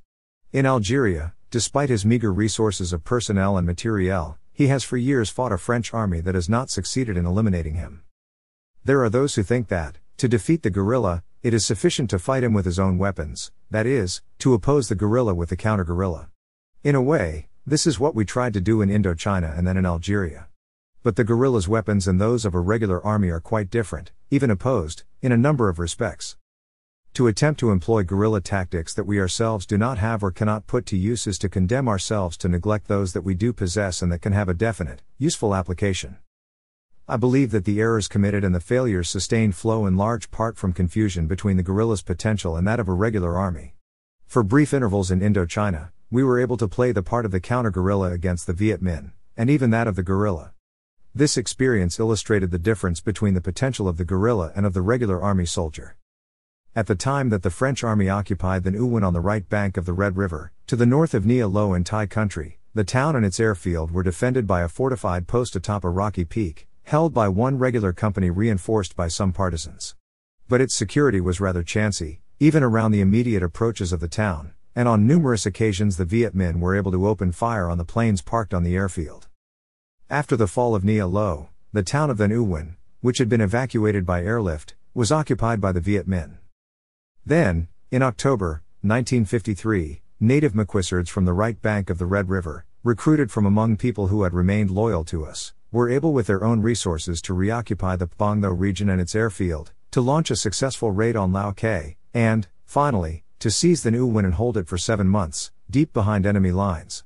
When observers came back to the town, they were struck by the fact that the fortified post had not been reoccupied and the airfield was never guarded. Nonetheless, security was tighter than the previous year when French troops held the position. The regular troops had observed the airfield and its immediate approaches from the fortified post. Outside of a quite limited circle of vision, they were blind, particularly at night when they missed everything. The Viet Minh, who knew the limits of this circle, were able to harass us easily. Our Maquisards, recruited from among and living in the midst of the local population, watched not the airfield, but rather the Viet Minh themselves. They placed their agents everywhere in units of the Viet Minh, in every village, in every house, and on all the trails of the area. The entire population was responsible for watching the enemy, and nothing could escape its observation. When the Maquisards signaled us that the area was free, our planes were able to land without risk on the airfield, to which it was unnecessary to give close protection. The support of the population is essential to the guerrilla. In particular, it prevents him from being taken by surprise, a vital factor for success in combat. As long as this support is not withdrawn from him, we cannot surprise him, unless he commits some blunder, which is unlikely if he is well trained and battle hardened. This is the reason why methods currently employed against guerrillas such as military outposts, autonomous commando groups or patrols detached from such posts, isolated ambushes, and wide ranging sweeps only rarely achieve the hoped for results, and then usually by accident. Military outposts, installed at great expense in areas to be pacified, are in general not successful. Often the villages they surround are as well controlled by our enemies as villages quite distant.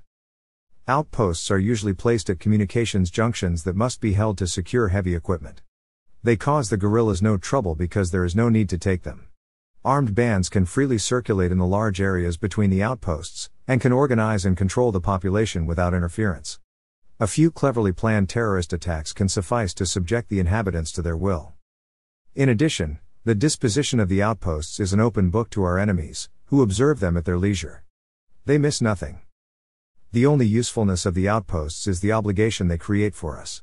To maintain them forces us to open and keep up roads, to protect supply convoys during the course of long hauls, and in general to carry on military activity in which we would not indulge if it were not for the outposts. To break the feeling of isolation, which is not long in coming, the more active or experienced outposts send out patrols rarely exceeding about 60 men, two platoons, in strength. Certain sectors even make use of specially trained commandos of company strength. Their mission is to patrol day and night a predetermined sector by a variety of routes, with the objective of creating a sense of insecurity in the guerrillas surrounding the post and of reassuring the people by their presence. The populace sees the commandos or patrols passing through, and often views them sympathetically. But the patrols always pass too quickly to destroy the organization the rebels have set up in each village to terrorize the inhabitants and to bend them to their will the fund collectors, organization leaders, lookouts, etc. As long as this structure is not demolished, the population's fear will remain the same and the task of pacification can make no headway. Away from their outposts or bases, the commandos or patrols are unable to subsist for long a few days at best, just time enough to use up the rations they can carry. They cannot live off the land, because they do not have at their disposal the resources the guerrillas use. The guerrilla bands have inhabitants to guide them, an organization that prepares their bivouac each day, sees to their provisioning, and assures their security. The commandos move about blindly, guided only by the reconnaissance elements they send ahead. At night, even with sentinels nearby, their security is precarious at best. Physical and mental wear and tear come rapidly. In addition, they are unable to vary their itinerary as much as they would like, particularly on the trip back and if the terrain is difficult. They cannot escape the observation of the inhabitants and the lookouts, who are able to analyze their habits quickly. They will shortly realize that a patrol on a certain path will not leave it sometimes by force of habit, often because it has no way of getting out. Nothing will happen as long as our enemies are unable to bring together sufficient forces for an attack. But when this time comes, they will make the best of it. Patrol action, unwearyingly attempted by military men who still believe it possible to beat the enemy on his own ground, is often rewarded by serious failures. At best, it never produces convincing results. That is why outposts, when first established, attempt to carry out some external activity, but then pull in their horns and never try again. For the same reasons, isolated ambushes do not accomplish anything. Usually they are betrayed before they take place and come to nothing, at other times, they actually do us harm. Pursuit commandos or isolated ambushes are combat operations the guerrilla can employ with the backing of the population and when he has a support organization on the spot. As long as we are unable to resort to the same methods, we will achieve only mediocre results, which are disproportionate to the risks run and the efforts demanded from the soldiers. Large unit sweeps, conducted with conventional resources within a framework similar to that of conventional warfare, and invariably limited in time, temporarily disperse guerrilla bands rather than destroy them. A normal operation of this type usually consists in the attempted surprise encirclement of a well defined zone in which guerrillas are thought to be located, while mobile elements conduct a mopping up operation. Despite the ingenuity, even mastery, which some commanders have demonstrated in moving their units about, these operations are always the same. Surprise, that essential factor of success, is practically never realized. As we have seen, the people among whom our troops live and move have as their mission the informing of the guerrillas, and no movement of troops can escape them. The noose is never completely tightened. The troops charged with the mop up operations are always too few in number to search a vast and difficult terrain in which the dispersed bands are able to disappear during the brief operation. Traditionally attracted by the purely military aspect of warfare, that is, by the pursuit and destruction and combat of guerrilla bands on the ground, operational commanders invariably hope to succeed in maneuvering them like regular units and to gain a rapid and spectacular success. They have full interest in the less noble task, however essential, of subtle work with the population and the destruction of the clandestine organization that enables guerrilla bands to survive despite local defeats the forces of order periodically inflict. Only a long occupation of the countryside, which will permit police operations among the people analogous to those carried out in the cities, can succeed. The certainty of never running the risk of a clear defeat, such as an equally armed opponent could inflict upon us, enables any military commander to conduct some sort of operation. Even if guerrilla bands are not destroyed, at least geographical objectives are secured within the prescribed time, and a few dead rebels will always balance the account. If, moreover, a few arms are recovered, the operation, which has been carried out like a normal peacetime maneuver, then assumes an air of battle and victory sufficient to satisfy a commander who is not too exacting. But that which is essential, the destruction of the enemy's potential for warfare, is never accomplished, principally because it is never seriously contemplated. If it is still necessary to remove any illusion regarding the possibility of conducting a surprise envelopment against guerrillas, under conditions where the population has not yet been brought under control by the forces of order, an account by a former officer in Indochina follows. In 1948, in a certain sector, I was able to establish relations with a Viet Minh captain in charge of a command, a Bo DOI, that was independent of the enemy regiment stationed in the region. He himself was not a communist, although the entire cadre of the regiment was. Still, he was unwilling to rally to the French cause, and he explained his reasons as follows Some day, sooner or later, we shall have peace with France. My personal situation at that time will be what I have made it.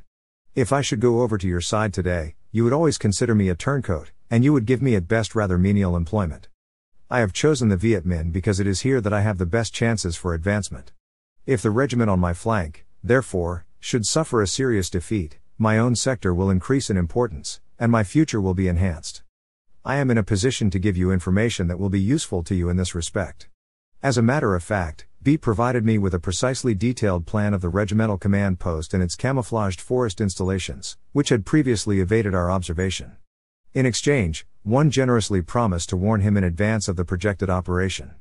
That's quite unnecessary, he said ironically. I'm always aware of your operations at least 24 hours in advance. There will be plenty of time for me to withdraw to another sector. I had always been convinced that I was preparing my operations in the utmost secrecy, but nothing could escape the numerous agents among the population surrounding us, who spied upon us unceasingly. 9. The problem of resources. The traditional army, having at its disposal large numbers of trained troops and an abundance of modern materiel, in the final analysis is completely incapable of overcoming a practically destitute enemy whose leaders and men have received only rudimentary military training. Incredible as this seems, it is nonetheless a bitter reality. A slave to its training and traditions, our army has not succeeded in adapting itself to a form of warfare the military schools do not yet teach.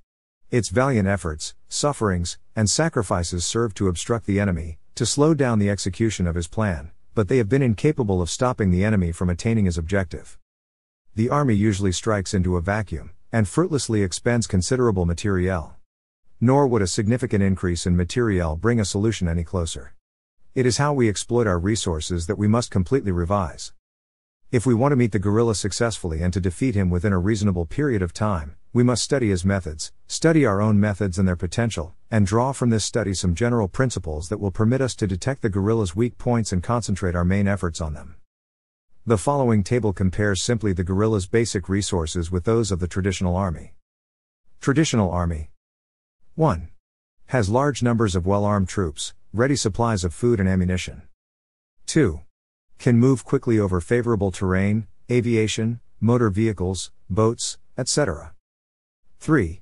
Has a well organized communications network, which gives it great control advantages. But 1.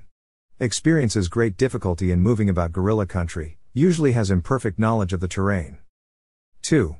Has practically no support from the population, even if it is not hostile. 3.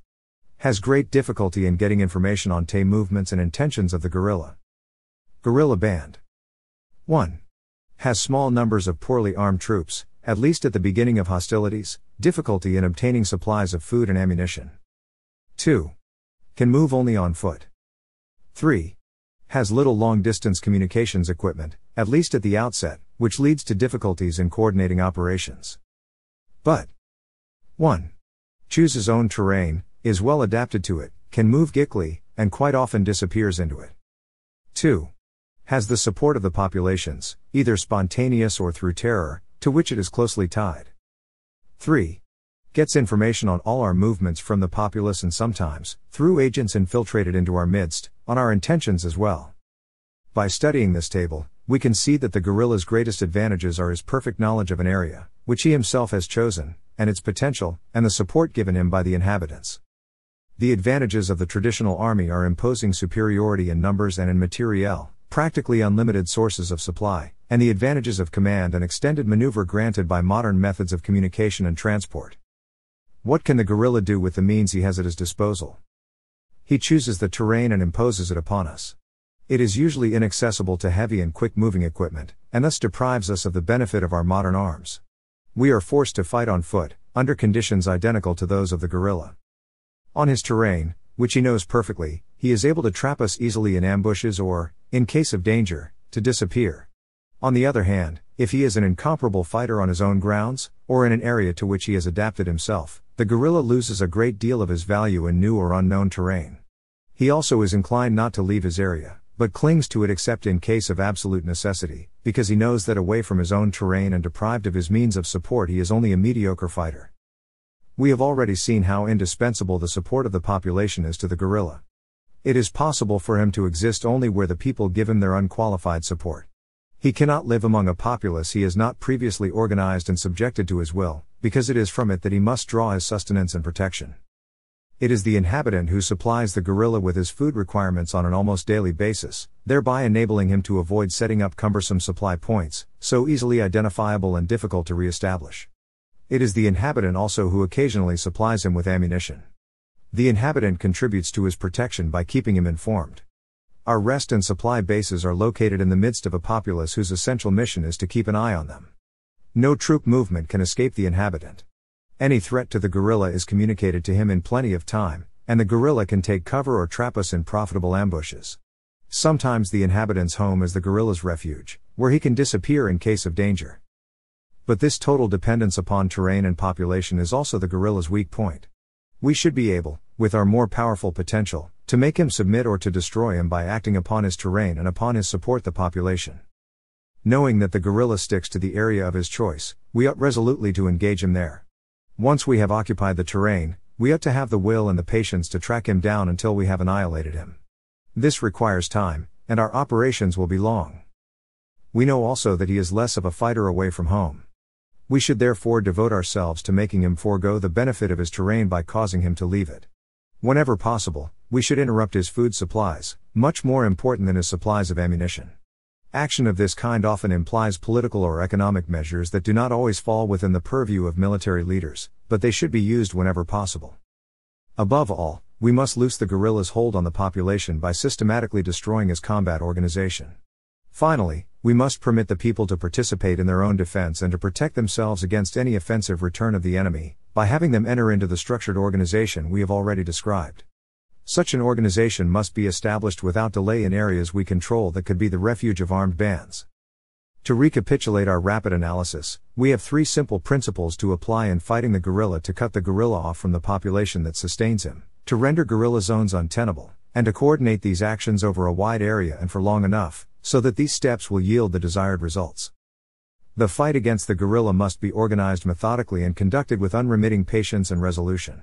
Except for the rare exception, it will never achieve spectacular results, so dear to laurel seeking military leaders. It is only by means of a sum total of perfectly coordinated, complex measures which we are going to make an effort to study that the struggle will, slowly but surely, push the guerrilla to the wall. Before drawing some practical conclusions about the conduct of operations against the guerrilla, we should examine those the U.S. Army conducted with complete success in Korea.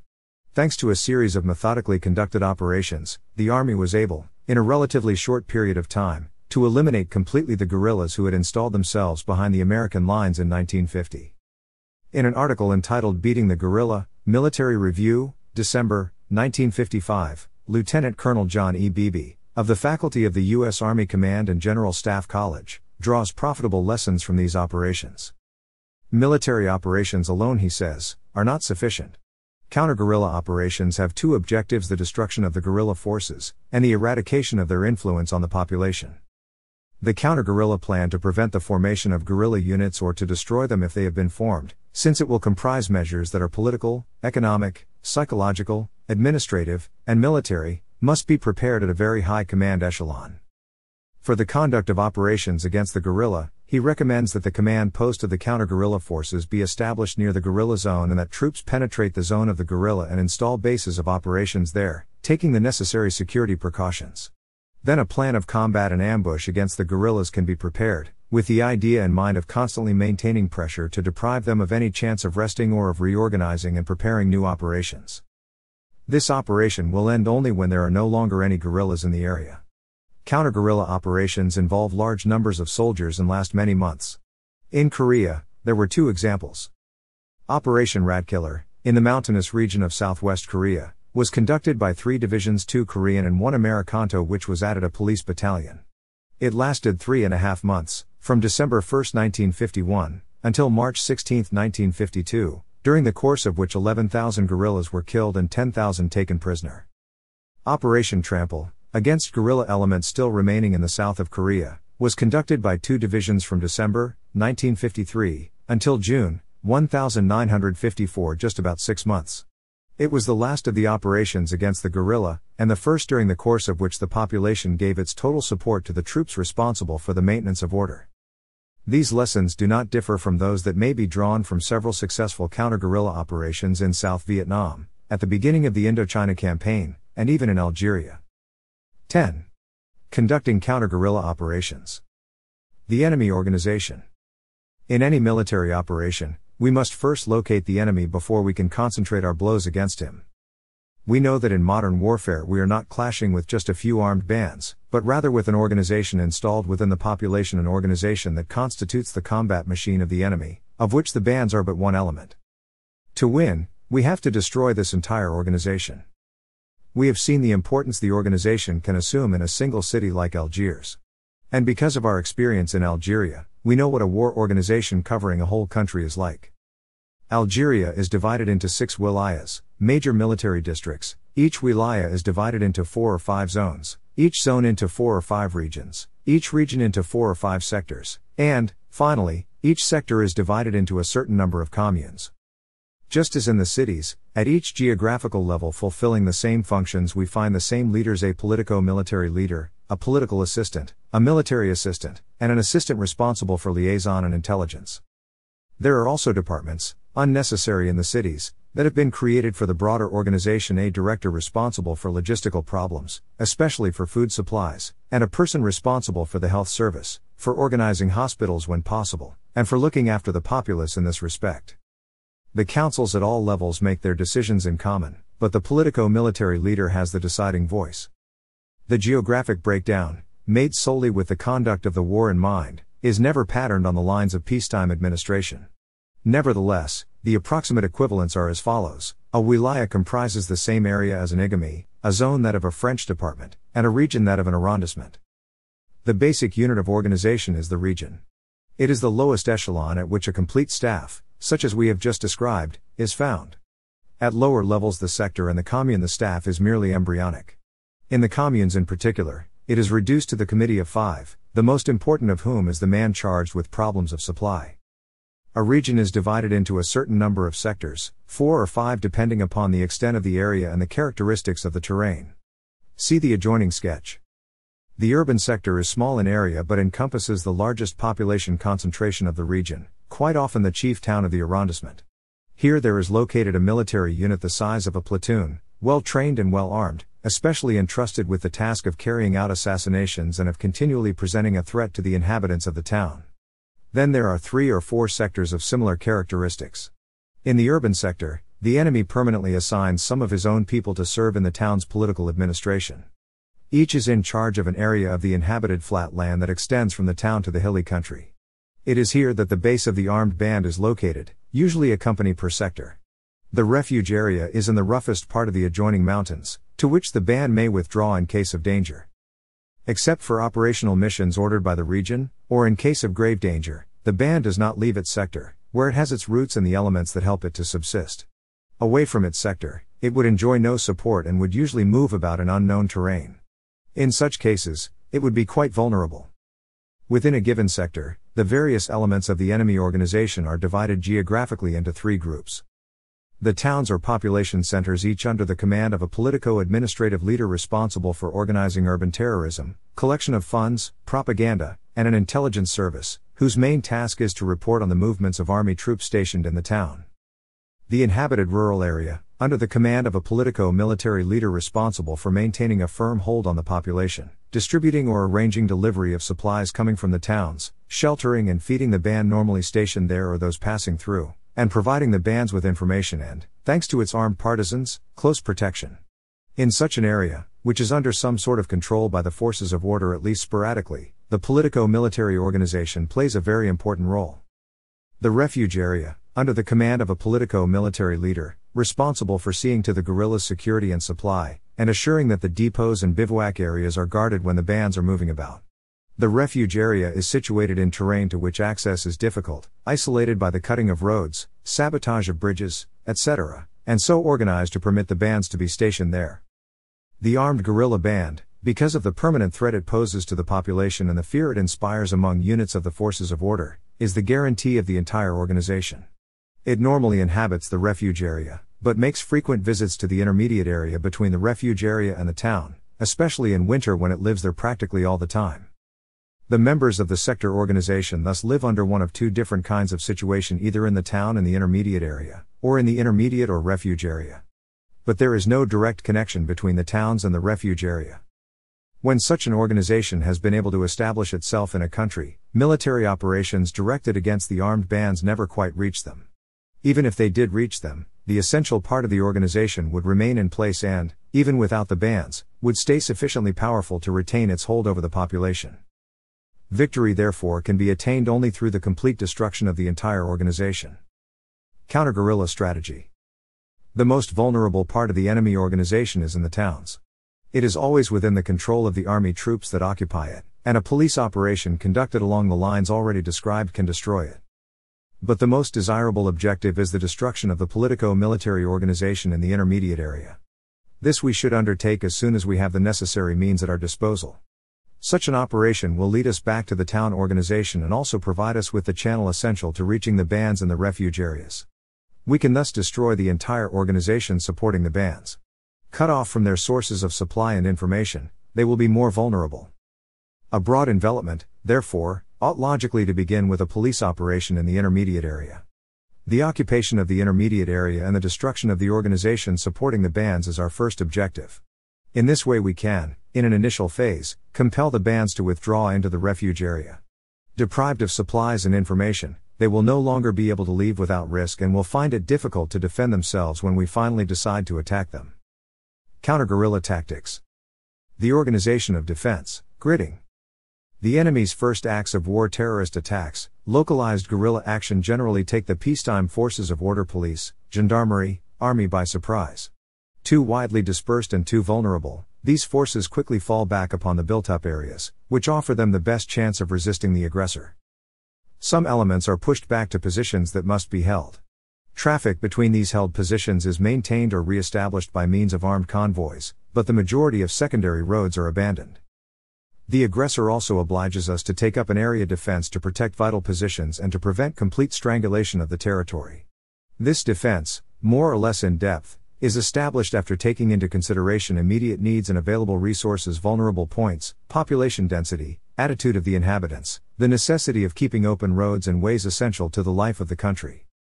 Eventually, there is established a so called defensive grid system, in which the military organization follows the lines of the civil administration to make maximum use of all command possibilities and to permit normal administration to function insofar as possible. The department becomes a zone, the arrondissement becomes a sector, the canton becomes a quartier.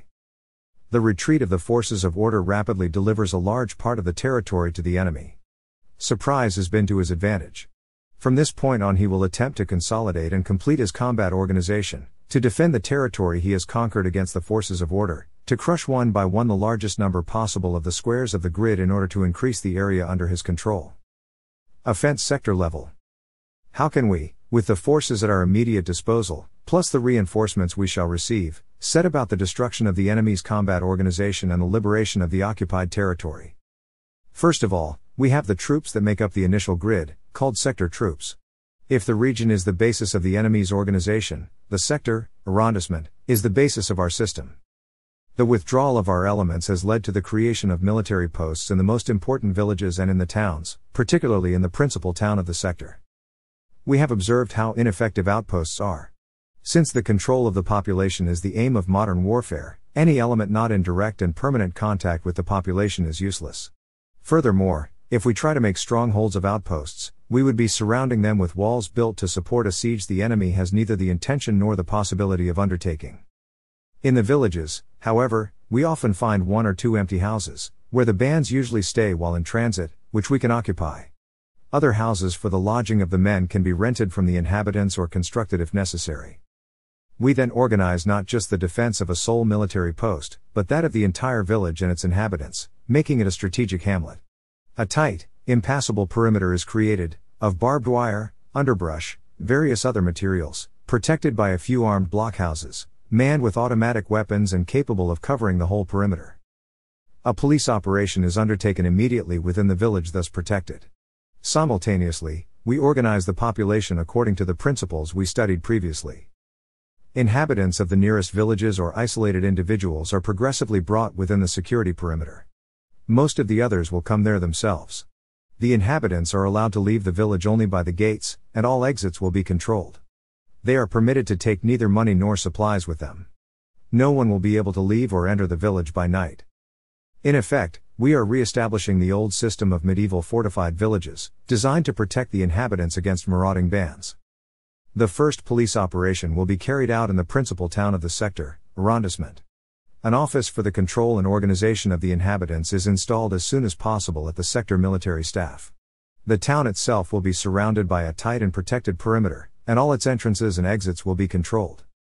Inhabitants of the principal town and villages will, as we said earlier, receive a census card, a copy of which will be sent to the command post of the sector and district. Each card will bear a photograph of the individual, his house group number, 4, the letter of the subdistrict, B, the number of the district, 2, and the letter of the town or strategic hamlet, C. The first part, C2, lets us know where he comes from. The second part, before, tells us the leaders responsible for the individual, the house group leader, and the subdistrict leader. The census card will also enable us to control individual ration cards. A census is also taken of all animals draft animals, horses, donkeys, and mules, and bovines, calves, cows, and bulls, will be branded with the card number of their owner we know how important supplies are to the guerrilla. Henceforth, no supplies are permitted to leave the towns or strategic hamlets. Even the animals will be strictly controlled.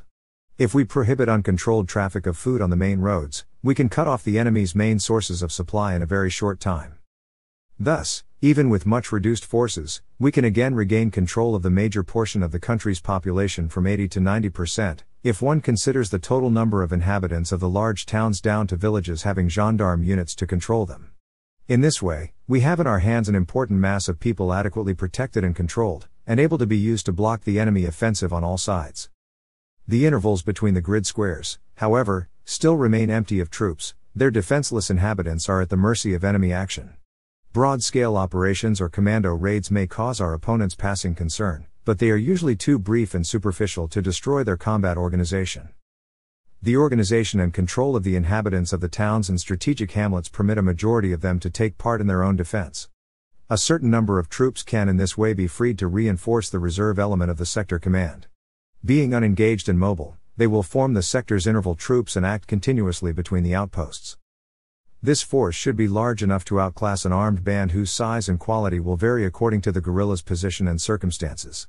But if we react quickly enough, before the situation can deteriorate, the enemy will not be able to create bands larger than approximately a company. This is the normal unit that will permit him to move about securely over long distances and to live off the country and the inhabitant, usually his sole sources of supply. Therefore, a four company battalion of infantry will be our standard interval unit. It must be essentially mobile, moving usually by foot, but also equipped with vehicles to move quickly over long distances.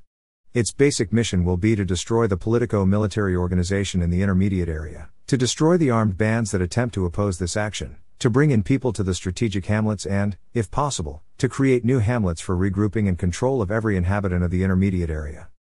If the sector's interval troops do not amount to at least a four company battalion, they will certainly be unable to handle at one time the intermediate areas of an enemy region, which corresponds approximately to a French sector, arrondissement. We know that, within the region, each enemy sector has an intermediate area of its own, where it puts up and supports an armed band. At very least, we must attack the intermediate area of an enemy sector. Its boundaries are easily definable. Our police operations in the towns and strategic hamlets will have yielded sufficient information for us to establish them without difficulty. The interval troops cannot hope to surprise the enemy in this area by stealthy penetration, a desire we have seen is illusory, but they can surprise him by their methods. Troops penetrate the intermediate area at the ready to avoid being surprised and to be in a position to maneuver in the event of a chance encounter with a band.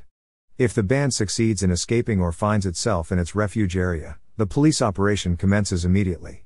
The politico military organization does not follow the band, as it would only be excess baggage. It stays in place or in the immediate vicinity. It is therefore always within range of the interval troop units, if there is sufficient time to look for it and destroy it. Keeping one element in reserve, the troops spread over a large area in order to occupy, if possible, the entire intermediate area of the sector, especially the maximum number of villages and the most frequented paths. Then, while part of the cadre sets out on an intensive search of the terrain, to locate any caches or deposits and to study a layout for the night's ambushes, the unit specialists undertake the police work. The entire population of each village, men and women, is called together and prohibited from leaving for the duration of the operation. Every inhabitant is individually and privately interrogated, without any resort to violence. A few simple but precise questions will be asked of each. For the first interrogation, two in general will suffice which individuals collect funds in your village? Who are the young people who are armed and carry on the surveillance of the village? If this first interrogation is well handled, several people will readily make the desired replies. Quite often, since guilty individuals hope to escape detection, the ones we seek will be among those assembled. We will therefore have no difficulty in arresting them. Those who have succeeded in leaving the village will not have gotten very far. Deprived of any contact with the population, they may very likely fall into our night ambushes when they attempt to find out what is going on or try to escape. The first echelon of the enemy politico military organization will also fall into our hands. More stringent interrogation will enable us to discover quickly who all the members are front leaders, members of committees of five, supply people, lookouts, etc., as well as the location of food deposits and arms caches. At least a week is needed for the specialized teams to destroy a village politico military organization. This is likewise the minimum for a police operation in the inhabited rural area of an enemy sector. Parallel to the work of destruction, we lay the foundation of our own system by selecting intelligence agents and organizing the populace. To succeed, we must never lose sight of the fact that we will receive information only from people who can give us information without risk to themselves. We must assure our agents of this indispensable security. We will choose them in the village itself. They will usually be people who proved best informed during the first interrogation. Having marked them, we contact them only in the course of the next police operation and under the same circumstances. They will then point out to us those men the enemy has installed to replace his disrupted organization. Later, when the situation has improved, we can find out who are capable of handling the secret communication of simple information. We proceed immediately to the organization and control of the population of the intermediate area. The first resort is the traditional division of the area into districts, subdistricts, and house groups with the usual numbering. We conduct an exact census of all the inhabitants, their means of subsistence, and in particular their livestock. Then we enroll them in the structured organization of which we have already spoken. In the beginning, we will not make many demands on the cadres we have chosen. But this initial activity will greatly facilitate the control of the population in the course of subsequent police operations, which must be frequent if we want to prevent the destroyed organization from reconstituting itself. Individuals will be considered suspect who appear in the census but who cannot be found. Their leaders and their families will be held responsible for them. On the other hand, any individuals of whom no record has been made will be registered only after a very detailed interrogation. Inhabitants from the rural areas who wish to join the strategic hamlets will be permitted to do so. With our assistance, they will carry with them all their means of subsistence. In this manner, we can continue to add to the number of persons controlled and protected. The difference in their manner of life, especially with respect to the degree of security accorded to the inhabitants in the protected perimeters, will constitute a powerful attraction throughout the intermediate area. Whenever and wherever we have enough troops and the necessary means, we must create new strategic hamlets. Only if we approach the problem methodically can we continue to establish a strict control over all the population and its means of subsistence. The supplying of the bands will become more and more difficult in the intermediate area as we proceed to drain off their means of support. If they can escape the frequent police operations of the interval troops, they will have to maintain themselves in their refuge area under difficult conditions. Armed with considerable information about the enemy, bivouacs, caches, depots, etc., the sector commander will be able, with additional help on a temporary basis, to follow him into his refuge with good chances of destroying him. Methodical and patient conduct of operations will, in the easier sectors and those of medium difficulty, lead to the destruction of the enemy's combat apparatus and the restoration of peace within a reasonable length of time. Offense zone level. If the action of the sector commanders is decisively carried out, the general commanding the zone, department, can move ahead with the essential role of achieving the methodic destruction of the enemy organization over a broader area. For each sector, he will initially designate the points to be occupied in the execution of an overall plan to avoid the strangulation of the department. He will especially determine the thoroughfares to be kept open to traffic. Having dealt the adversary his initial setback, the commanding general takes the offensive. First, he attacks the enemy organization in the important towns of the department, especially in the principal town, to put an end to the spectacular terrorist attacks which build the enemy's prestige. He gives detailed orders for the conduct of police operations. He sees to it that the organization and control of the entire population is secured without delay. He assures that the methods and procedures used are the same throughout the area of the zone to maintain a uniformity of action. He will at all times have at his disposition a significant reserve element to bring pressure to bear on those points which, in their turn, appear most likely to hasten the execution of the pacification plan he has drawn up. As we have seen, units of the enemy organization rarely coincide with the peacetime administrative boundaries our military organization must adopt. The sector commanders ought not to stop any action at their own sector limits, but should rather follow up methodically and relentlessly throughout the whole territory of the enemy organization attacked sector or region. Hence, there is a necessity for coordinating operations at the zone level, and for strict planning of methods and procedures. Refuge areas are usually in irregular terrain to which access is difficult, country often cut through with administrative boundaries. In such a case, the attack on the refuge areas will be launched by the general commanding the zone and at such time as the peripheral police operations of the sector commanders have been concluded. While he leaves a broad area of initiative to his subordinates, the commanding general assures through frequent inspections that his orders are being strictly followed. He makes sure that his plan of pacification is followed in all areas, especially with respect to practical projects that call for considerable expenditures and in which no waste should occur. Such projects include construction of new roads, or the repair of those that have been sabotaged, construction of new strategic hamlets to receive people falling back from the danger areas, school construction, and economic development of the department to give displaced persons means of subsistence. A well conceived plan, executed with determination, courage, and foresight, will save from needless distress a population that will have had more than its share of suffering. In areas of difficult access, where the guerrilla has been able to establish well equipped bases for his bands and where he has numbers of seasoned fighters, the sector troops will generally not have sufficient resources to attack and destroy them. They will therefore have to appeal to the intervention troops.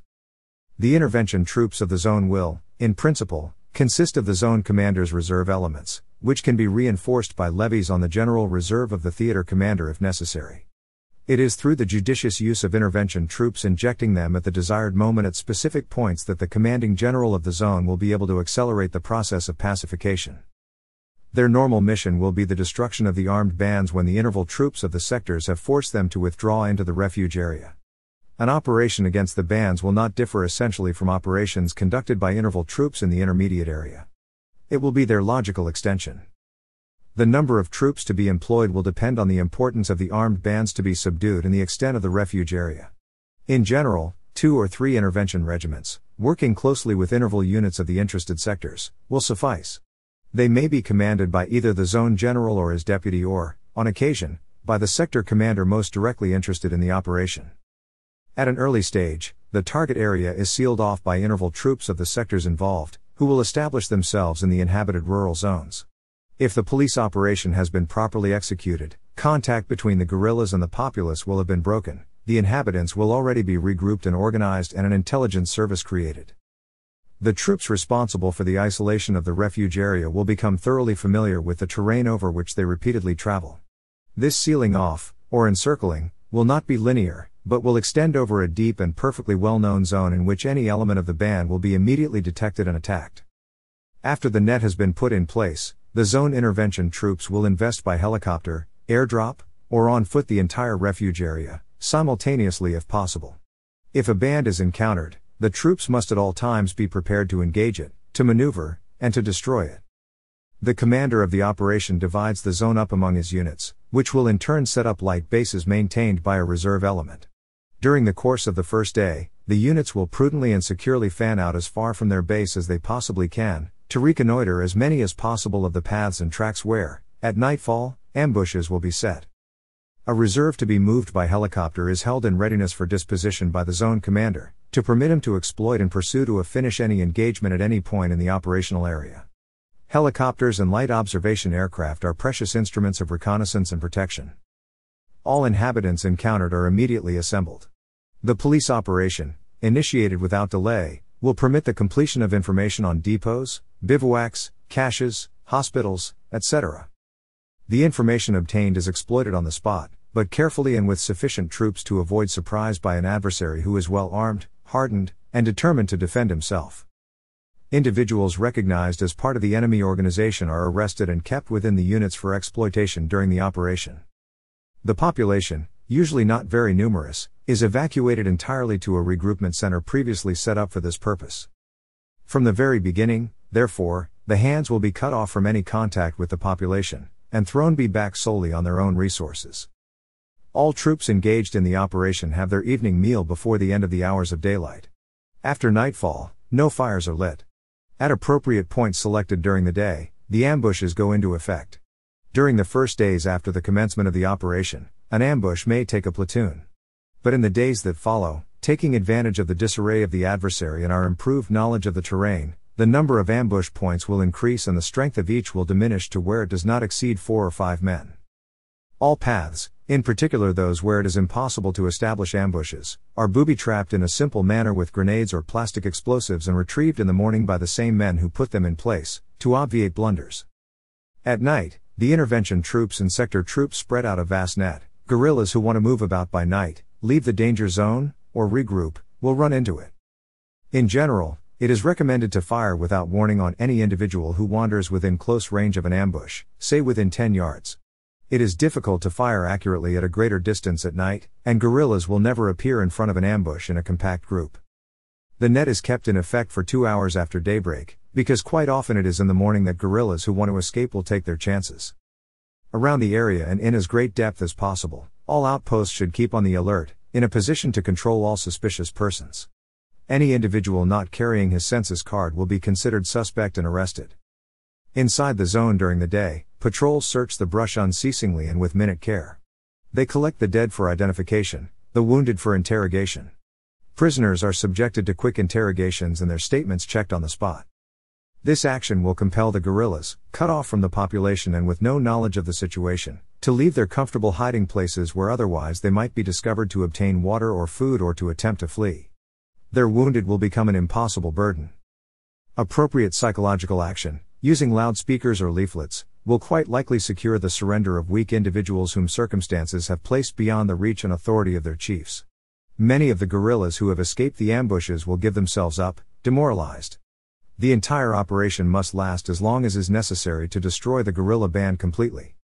Anything that would facilitate the existence of the guerrillas in any way, or which could conceivably be used by them depots, shelters, caches, food, crops, houses, etc., must be systematically destroyed or brought in. This will actually permit the methodical recovery of materiel and food, which can be distributed to the regrouped civilians. All inhabitants and livestock must be evacuated from the refuge area. When they leave, the intervention troops must not only have completely destroyed the bands, but must leave behind them an area empty of all resources and absolutely uninhabitable. The operation against the armed bands in a refuge area, supported by intervention troops, should spell the end of the battle against the guerrilla in a sector. To be successful, it must be prepared in the greatest detail at the echelon of the general commanding the zone. It should get underway when the operations of the interval troops in the sectors have created a favorable situation and the zone commander has assembled all the necessary men and materiel. Then, carefully prepared and energetically carried out, it cannot fail. Once successful, the sector commander will be able to regroup and control all of the inhabitants of his sector, the ultimate aim of modern warfare operations. However, organization and control of the population, and supplementary controls over food, circulation of persons and goods, animals, etc., as well as a flawless intelligence service, must remain in force until peace has been restored to the entire national territory. Any lack of vigilance or premature dismantling of the control system will certainly permit the enemy to recoup lost ground and jeopardize the peace of the sector. Offense Theater Level The Commander in Chief of the entire theater of operations should maintain a considerable general reserve. This will permit him to strike at the precise time and place he judges opportune in the conduct of theater level operations. By judicious employment of reserves, as we have seen, he will be able to accelerate and bring about the pacification of difficult areas. For reasons of troop economy, certain areas may be abandoned or held by only very small forces. Here, the enemy will be able to organize and maintain significant forces. When the theater commander decides on their pacification, the normal resources of the sector and zone may be inadequate. Such operations will therefore fall to units of the General Reserve. At the beginning of any conflict, the enemy normally will not be able to launch hostilities simultaneously throughout the entire territory. He first sets himself up in areas favorable to guerrilla warfare and attempts to keep these under his control. At this point, forceful action, quickly begun and vigorously carried out according to the principles discussed, ought to annihilate the guerrilla and prevent extension of the conflict. The success of such an operation is of the utmost importance, because it can re establish the peace in short order. In any case, the operational area must be clearly defined and isolated. Initially, this is the role of the zones and sectors nearest the enemy. At the first aggressive acts, elements of the forces of order already in place the army, gendarmerie, police, various peacetime intelligence services attempt to determine as accurately as possible the limits of the area under the enemy's control. After quickly establishing the limits of this area, the measures previously studied control and organization of the populace, creation of an efficient intelligence service can contain the enemy's sphere of action even further. The extent of this final restriction of enemy activity will delimit the area of attack. The number of the troops, 2 to 4 divisions, if one accepts the Korean experience, the civilian and military means to be committed, the need for strict coordination of complex actions all means that a theater level operation ought not to be launched until detailed study permits the drawing up of a precise plan of action when the necessary men and equipment have been assembled. Insufficient means or carelessness of preparation and execution of operations will lead to certain failure, the area of the conflict would spread, and a long war could not be avoided. The commander of the operation should be the commander of the general reserve units to be used. His will be the complete responsibility not merely to weaken the bands or disperse them, but rather to destroy the combat apparatus of the enemy and re-establish normal life within the affected area. No time limit for the operation should be set ahead of time. It will end when the enemy's combat organization guerrilla bands included are completely destroyed, that is, when not one more guerrilla remains in the region, and when a cohesive system capable of preventing any offensive return of the adversary has been established. At the appropriate time, after the general reserves have been withdrawn, an assistant can be charged with assuring a rapid return to peacetime conditions in the liberated territory with whatever means are available and with the organization that has been created. Although a theater level operation differs in size from those previously considered, the principles to be applied are the same.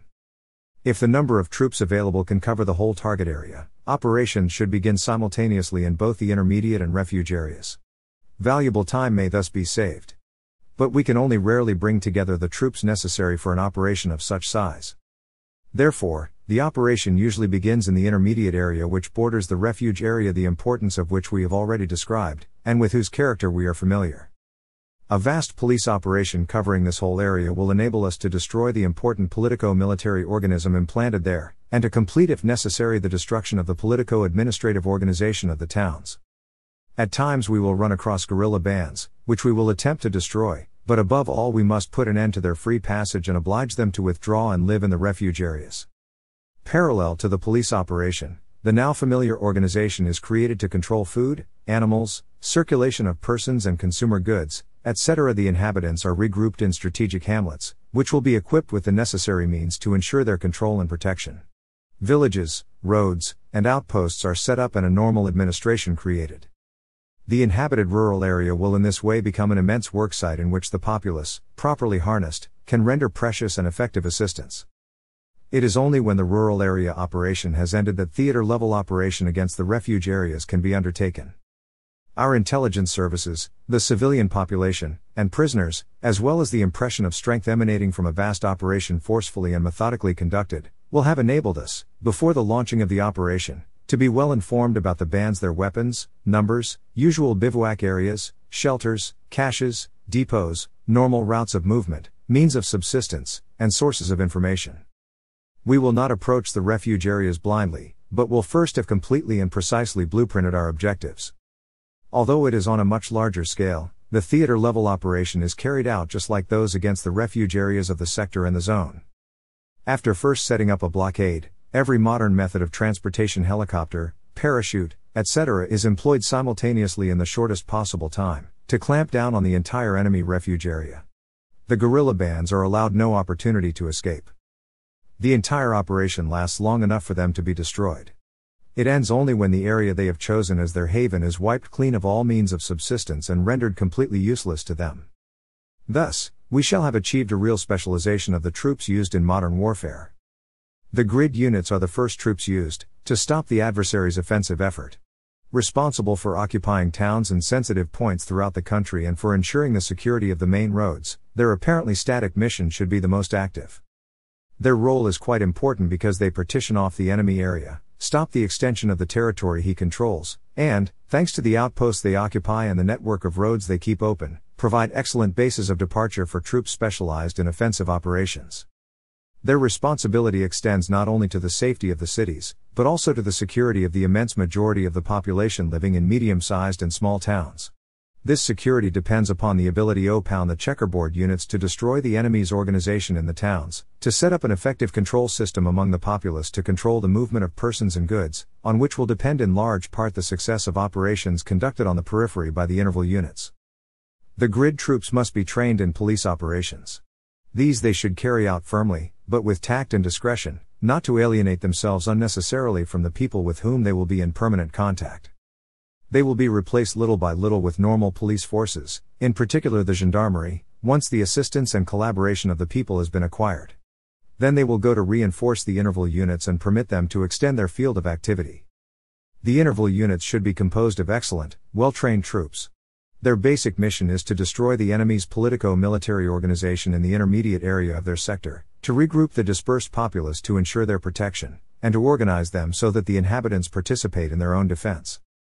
These troops will be nomads, capable of living away from their base for long periods, of dispersing over a great area to carry out police operations in depth, and of quickly regrouping in the event of an engagement with the enemy so that they can maneuver and destroy the guerrilla bands. The intervention units are elite troops who will seek out the bands in their refuge areas and destroy them. To follow a resolute adversary in difficult terrain, to move long distances on foot by day and night to reach him, to man ambushes all night long in small teams of four or five men along forest paths, all this calls for excellent training and insuperable morale. cadres of the highest quality are needed to conduct an effective police operation, to interrogate interesting prisoners quickly at the very point of their capture, and to exploit the situation without losing any time. This difficult and costly training will be available to only a small number of units. They should be utilized judiciously so that they do not suffer unnecessary wear and tear.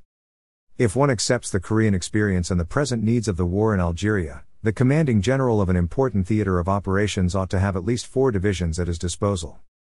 Consolidated under the command of a dynamic leader, well upon the combat procedures of modern warfare, they will be capable of successfully handling within a few months the most threatened and vulnerable areas.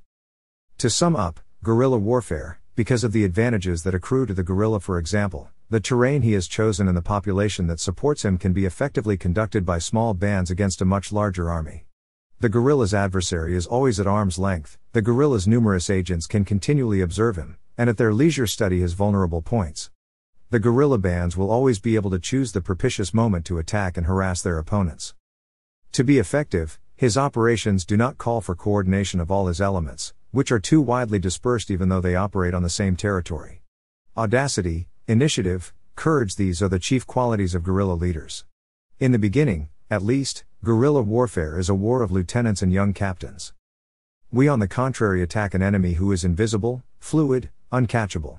In order to get to him, we have no alternative but to throw a net of fine mesh over the entire area in which the bands move. Counter guerrilla operations therefore cannot succeed unless they are conducted on a large scale, unless they last the necessary length of time, and unless they are prepared and directed in greatest detail. To the words of Colonel Beebe, already cited above, a counter guerrilla operation ends only when there are no more guerrillas in the area, and not when the guerrilla has been disorganized and dispersed, let me add, and when the enemy's entire warfare organization has been destroyed and ours put in its place. Dash dash dash dash dash dash dash dash dash dash dash. The struggle against the guerrilla is not, as one might suppose, a war of lieutenants and captains. The number of troops that must be put in action, the vast areas over which they will be led to do battle, the necessity of coordinating diverse actions over these vast areas, the politico military measures to be taken regarding the populace, the necessarily close cooperation with various branches of the civil administration all this requires that operations against the guerrilla be conducted according to a plan, established at a very high command level, capable at any moment of making quick, direct intercession effectively felt in the wide areas affected by modern warfare. The counter guerrilla struggle is definitely a question of method. A modern state possesses forces sufficiently large to fight him. Our repeated failures result solely from poor employment of our resources. Many military leaders judge these insufficient. We know of no example in military history of a soldier who went into battle with all the means he thought he needed. The great military leader is the one who knows how to win with the means at his disposal. Part 3 Carrying the War to the Enemy. 11. The Inadequacies of Traditional Warfare. We have just studied ways to react against an opponent employing the methods of modern warfare on our own territory. But the means prescribed provide only for the destruction of forces the enemy has introduced or organized within our frontiers. The enemy, however, before moving to open warfare, will attempt to assure himself of the support of one or more friendly, non belligerent foreign nations. There, he will set up important bases for training his troops and will install reserves of war materiel. This territory will very often serve as a base of departure for attacks launched into our territory. It is there that the enemy will, at the opening of hostilities, set up his command structure, and will shape it gradually into the provisional government he hopes to set up on our territory as soon as there is a large enough area conquered. The fact that the state which supports our adversaries is a non belligerent one seems to place these bases beyond our range and leave the enemy completely free to receive without interruption the men and materiel that will permit him to supply his battle on our territory. As long as this considerable war potential is not destroyed or neutralized, peace, even if completely restored within our own borders, will be precarious and in continual jeopardy. The enemy's freedom of action beyond our frontiers is one of the factors determining the duration of the conflict. Material support and the assurance of strong and continuing aid from abroad are essential to maintaining a high morale among those fighting in our interior. Without external aid and the hope of an Allied landing, most of the French Maquis under the occupation would not have been able to hold out under the pressure of the German attacks. And several more recent examples also demonstrate the importance that the support of a non belligerent state in modern warfare can have on the outcome of a conflict. Greece was unable to crush the communist attack until Yugoslavia, having left the Soviet camp, no longer served as a support base to the armed bands fighting on Greek soil. The principal error of the French in Indochina was not to have made enough of an effort to gain a victory before the arrival of Chinese communists at the Tonkin frontier. From then on, the Viet Minh were able to make use of important bases in China, where they could freely provision themselves and where their large units could be formed and trained. The character of the war immediately changed. It was lost for the French, who were no longer capable of supplying, so far from home, a theater of operations that had so increased in complexity.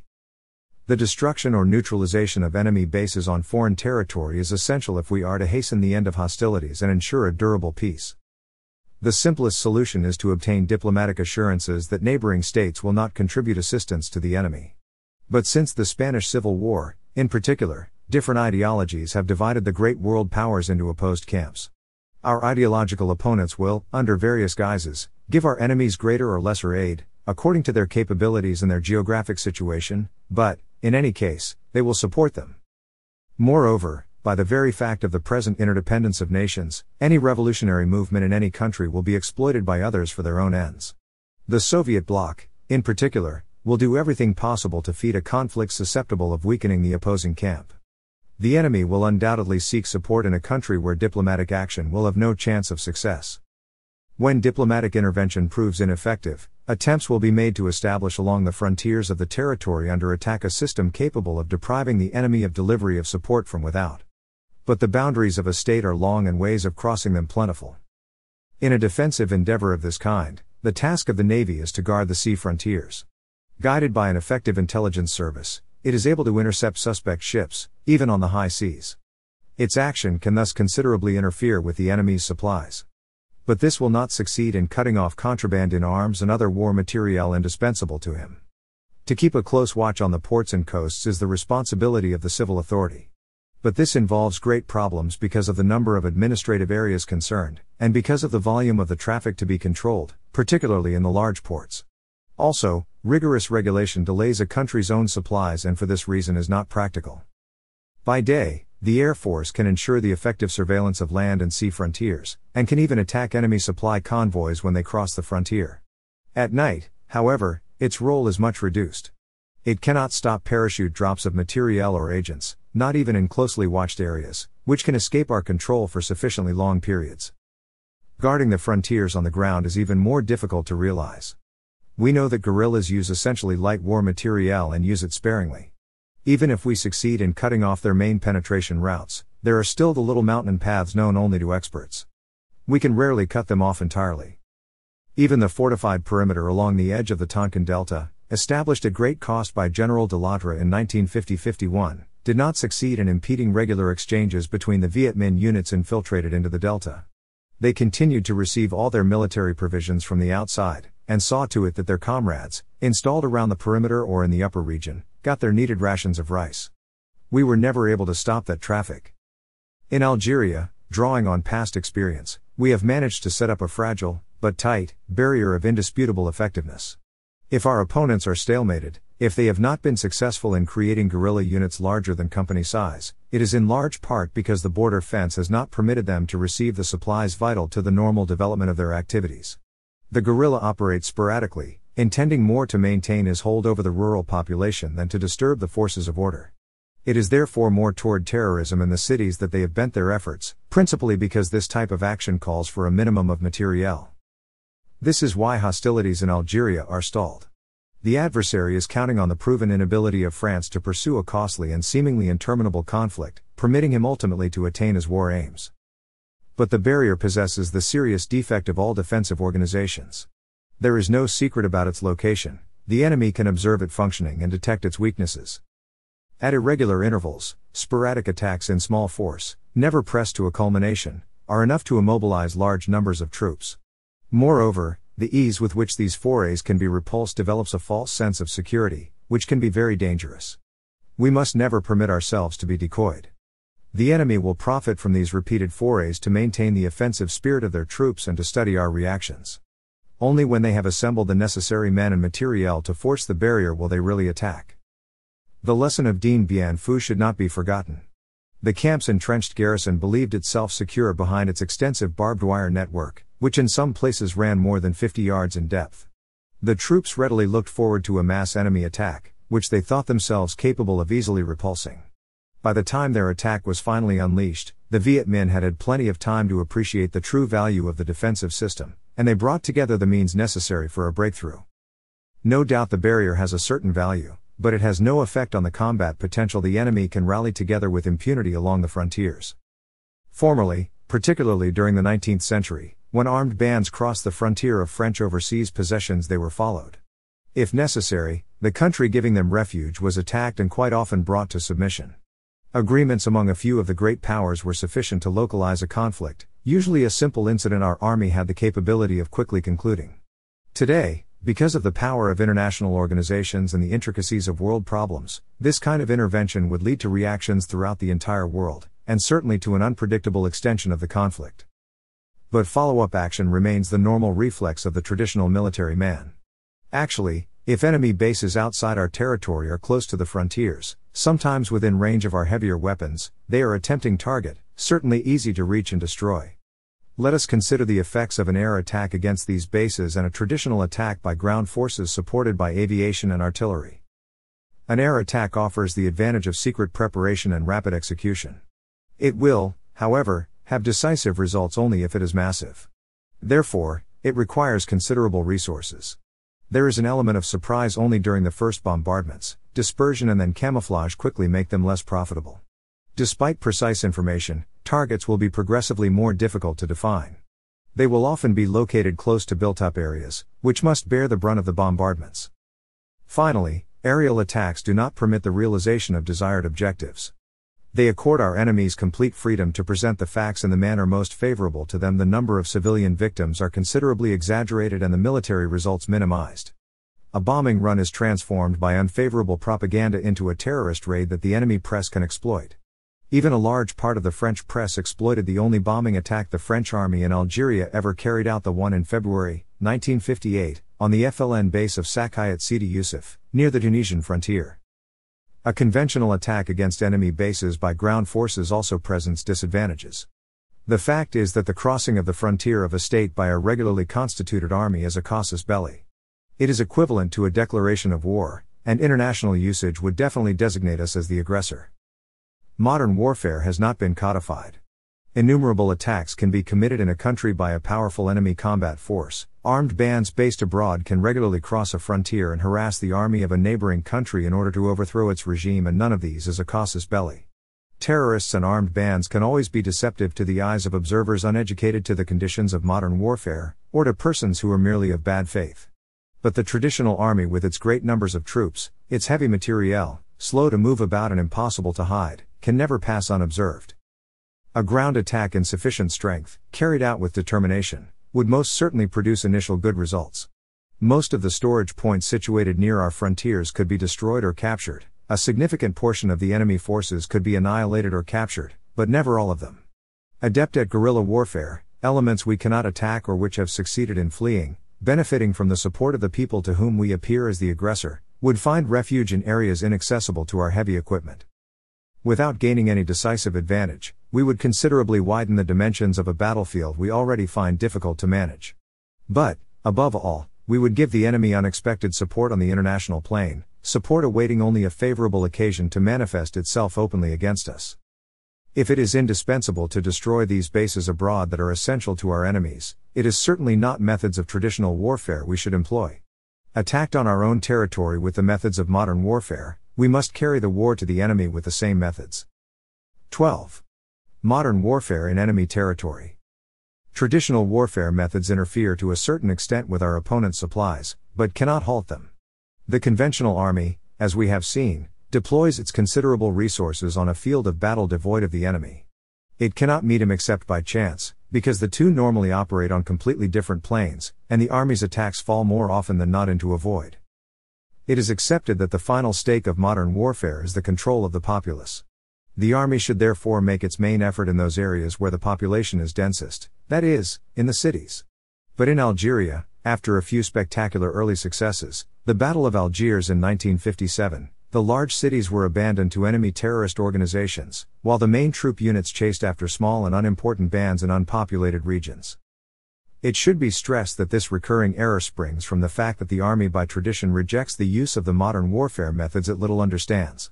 On the other hand, the violence of attacks the Army has undergone in certain intellectual circles, and the poor backing it has received from the government, have certainly not encouraged it to involve itself in operations for which it is in any case poorly prepared.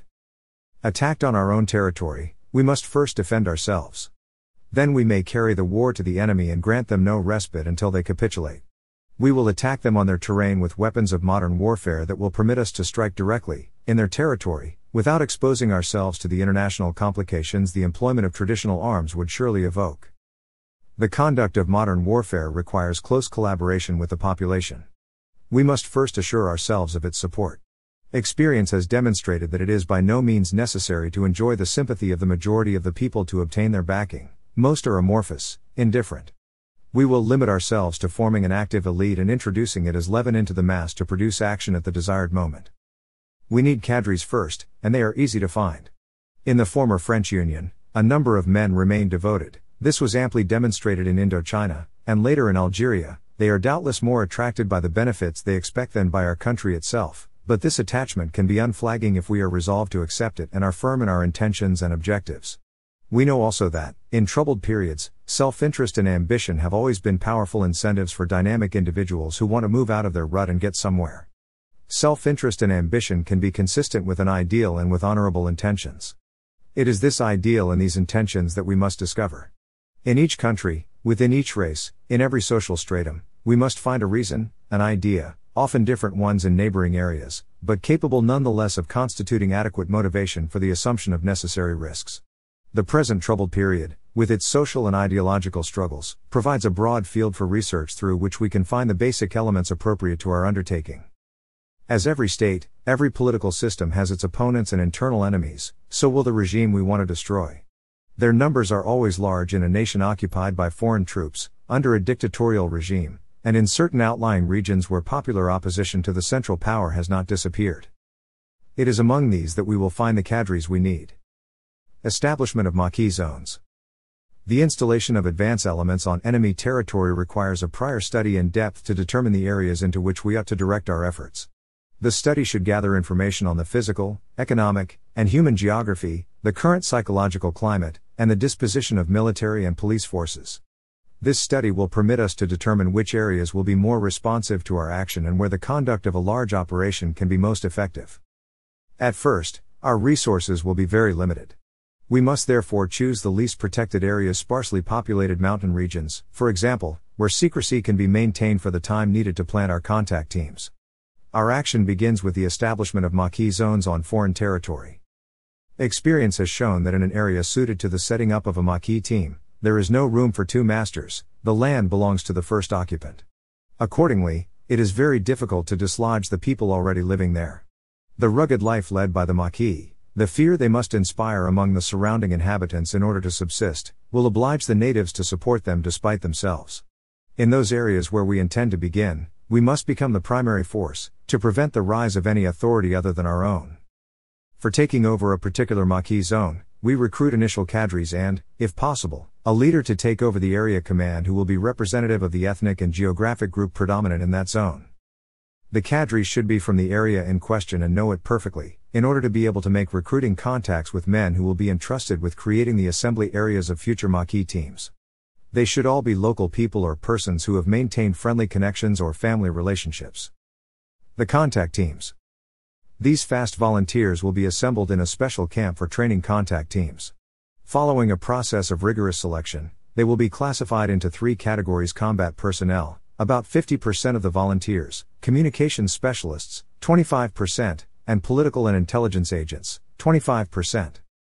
Their training will consist of basic general instruction, political, psychological, military, paratroop, counterintelligence, and specialized instruction, in particular, communications. This training will be conducted by specialized volunteer cadres, officers, and NCOs, who will ultimately assume charge of the Maquis bands when they are activated. At the end of the first training period, lasting two or three months depending on the intellectual capacity of the pupils, the first contact missions will be constituted. They will generally be composed of a team leader and his assistant, taken from among those who receive the specialized instruction for combat personnel, a communications specialist, voice, and two political and intelligence agents. About 10 such teams will suffice to prospect the Maquis zone and to make the contacts necessary for creating bases. The other volunteers will continue their training, especially the wireless operators, whose instruction must be especially thorough. At the right moment, the contact teams will be assembled together in the Maquis zone. This will be accomplished by night parachute drops, or by infiltration by land or water. Night drops of small teams by trained air crews offer the advantage of great secrecy and spare the men both a long difficult trek and the risks of interception. Each team is independent and operates in the vicinity of a village that is well known to at least one of the agents and in which it will be possible to renew friendly connections and make desirable contacts. Radio communication will enable the work of the teams to be monitored. When the contact mission is well underway, the team leader and an intelligence agent return to base, usually by a land route. By this time, they should be familiar enough with the terrain not to run any risk. They will take along with them a few picked young people, already given some basic training, to enroll them in the Maquis Commando. The assistant team leader, the communications specialist, and an intelligence agent remain in the area so that contacts are maintained and, if possible, improved. This phase of taking up positions and making contacts should last from one to two months. Information furnished by the contact teams, coordinated upon the return of the team leaders, will enable the officer commanding the Maquis to follow the evolution of the situation. It enables him to direct the recruitment and training of the necessary personnel, particularly that of the Maquis Command, which should consist of about 100 men. He can coordinate radio contact with the teams remaining in the field. He will be able to set the precise limits of future Maquis zones, designate and study parachute drop areas, and establish quotas for weapons, radios, and other materiel.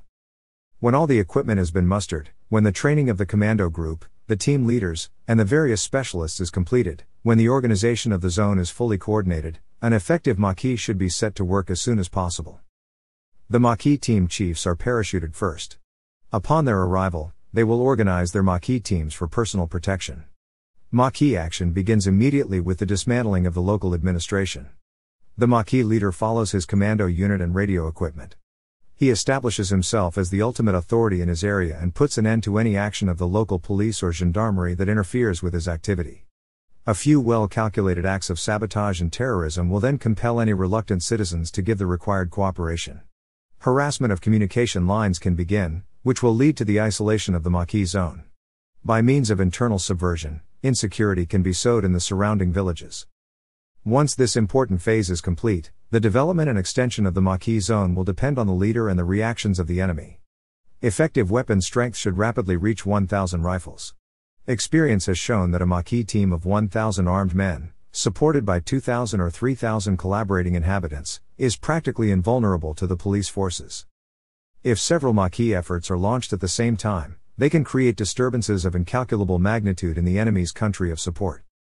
Other quicker and more brutal techniques can be employed. One used in Indochina led to the installation of 20,000 organized and equipped partisans in the upper region of Tonking and in Laos in a single year. This figure was to be increased to 50,000 in the autumn of 1954, which would have permitted the soundly based reconquest of Upper Tonking, the haunt of large Viet Minh units. Unfortunately, this action, undertaken on the initiative of General de Lattre de Tassigny, came too late. The regrettable Dien Bien Phu incident brought the sudden cessation of hostilities and prevented us from exploiting our opportunities in depth. The action of French Maquis teams did, however, permit the evacuation without losses of the fortified camp of Na San, the reconquest by Laos of the provinces of Phong Saly and Sam Neua without the help of regular troops, the total interdiction of the direct road from Lao Khe to Dien Bien Phu for the entire duration of the siege, as well as the immobilization of more than 14 battalions of the Viet Minh Regular Army on Route RP 41, the umbilical cord of the besiegers, the recovery of hundreds of prisoners, etc.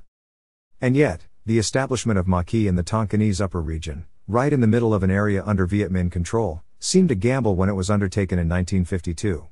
This potential of the Maquis command, although scarcely noticed at the time and already forgotten, ought not be lost sight of. Once large Maquis teams are installed, we undertake action in the towns. The Maquis zones will serve as assembly areas and as refuge areas for forces charged with creating a feeling of insecurity in the small surrounding towns.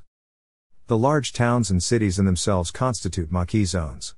The extent of their surface area, their population density, the difficulty of establishing there a strict control over a large and concentrated population, will permit our agents to set themselves up, to organize, and to create a reign of insecurity sufficient to cause the authorities considerable trouble. concealing the buildup. In order to succeed, our action in enemy territory has to be carried out with discretion. We must recruit, assemble, and train our Maquis elements in absolute secrecy. A camp capable of training 500 men, located in an isolated area of difficult access, will serve our needs. The most practical method, the one guaranteeing the best results, is to turn over a frontier sector command to whoever is designated to prepare and conduct the necessary action. The regular sector forces would continue their usual tasks during the Maquis training period and would be in a position to support them when action begins. In no case do regular troops, elements of regular troops, or isolated nationals cross the frontier. Our intervention troops will receive only enemy weapons and equipment, captured in combat or otherwise procured. Many of our Maquis will be recruited directly from among the enemy, especially from among prisoners, and natives of the territory where our action takes place. Thus, we will have carried the war onto foreign territory without using regular troops. With respect to international opinion, the movement we launch may be presented by ourselves and our friends as an internal uprising, from which we are apparently divorced but which nonetheless has our official sympathy. We will attempt to give the military action a clearly defined political character and, if possible, a symbolic leader to represent it. We will give it any assistance that will contribute to its development, in anticipation of the moment when the international situation permits us to give aid officially. Certainly our opponents won't be deceived, they will know from where the blows are coming. But their protests will carry no more weight than our own. Modern warfare, not having been codified, remains officially ignored. Any diplomatic intervention would look like meddling in the internal affairs of a sovereign country and would be rejected. Peace may then be re established only on our own terms, that is, when the aid given to our enemies has ceased. Conclusion In modern warfare, as in the traditional wars of the past, it is absolutely essential to make use of all the weapons the enemy employs.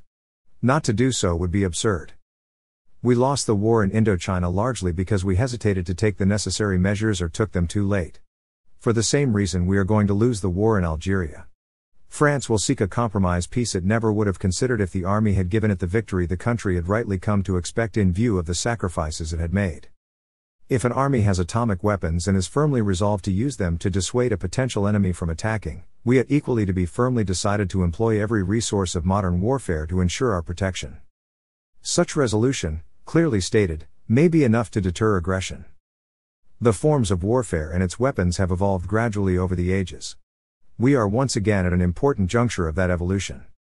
Science is allowing the military to kill more and more of the enemy at greater and greater distances. Airmen, Artillerymen, even infantrymen have killed and been killed without having seen a single enemy. The hard and pitiless realities of war, cruel and brutal physical contact with the enemy are being spared the modem soldier. Combatants philosophically accept killing and dying, but usually avoid the rugged contact of physical suffering and death individually given and received. With the advent of the atomic weapon, the power of destruction has become such that its use would probably involve the simultaneous disappearance of belligerents of both camps. It will therefore not be used. But war itself will not disappear. The increasing power of weaponry, which places distance between combatants, is also abruptly bringing them together. Once again, they will confront one another on a clearly defined field, and will rediscover the physical contact lost these many centuries. Immense armies will no longer simultaneously invade a vast battlefield. War will be a juxtaposition of a multitude of small actions. Intelligence and ruse, allied to physical brutality, will succeed the power of blind armament. A problem confronts us will we in modern warfare make use of all necessary resources to win, as we have always done in the traditional wars of the past and as we at present envisage doing when we construct nuclear weapons? Other soldiers have been confronted with problems of this nature in the course of history. At the Battle of Crécy in 1346, the army of the French king refused to use the bow and the arrow the English handled so effectively. For them, true combat, the only fair and permissible kind, remained man to man, body to body. To use an arrow, to kill one's adversary from afar, was a kind of impermissible cowardliness not compatible with their concepts of honor and chivalry. At Agincourt in 1415, the lesson of Crécy went unheeded. Once again on horseback, with breastplate and sword, French knights advanced on English archers, and once again were crushed. The knights, at that time the professional military men of the nation, refused to use the new arms, but the King of France, responsible for the destiny of the country, adopted them and armed his infantry with the bow. Charles VII, in fact, from that time on obliged every parish to maintain an archer, the first step toward our present national army. Knights, having become an archaic and useless luxury, disappeared from the field of battle. For them, a page of history has been turned for all time. No nation deprives its army of material resources or moral support.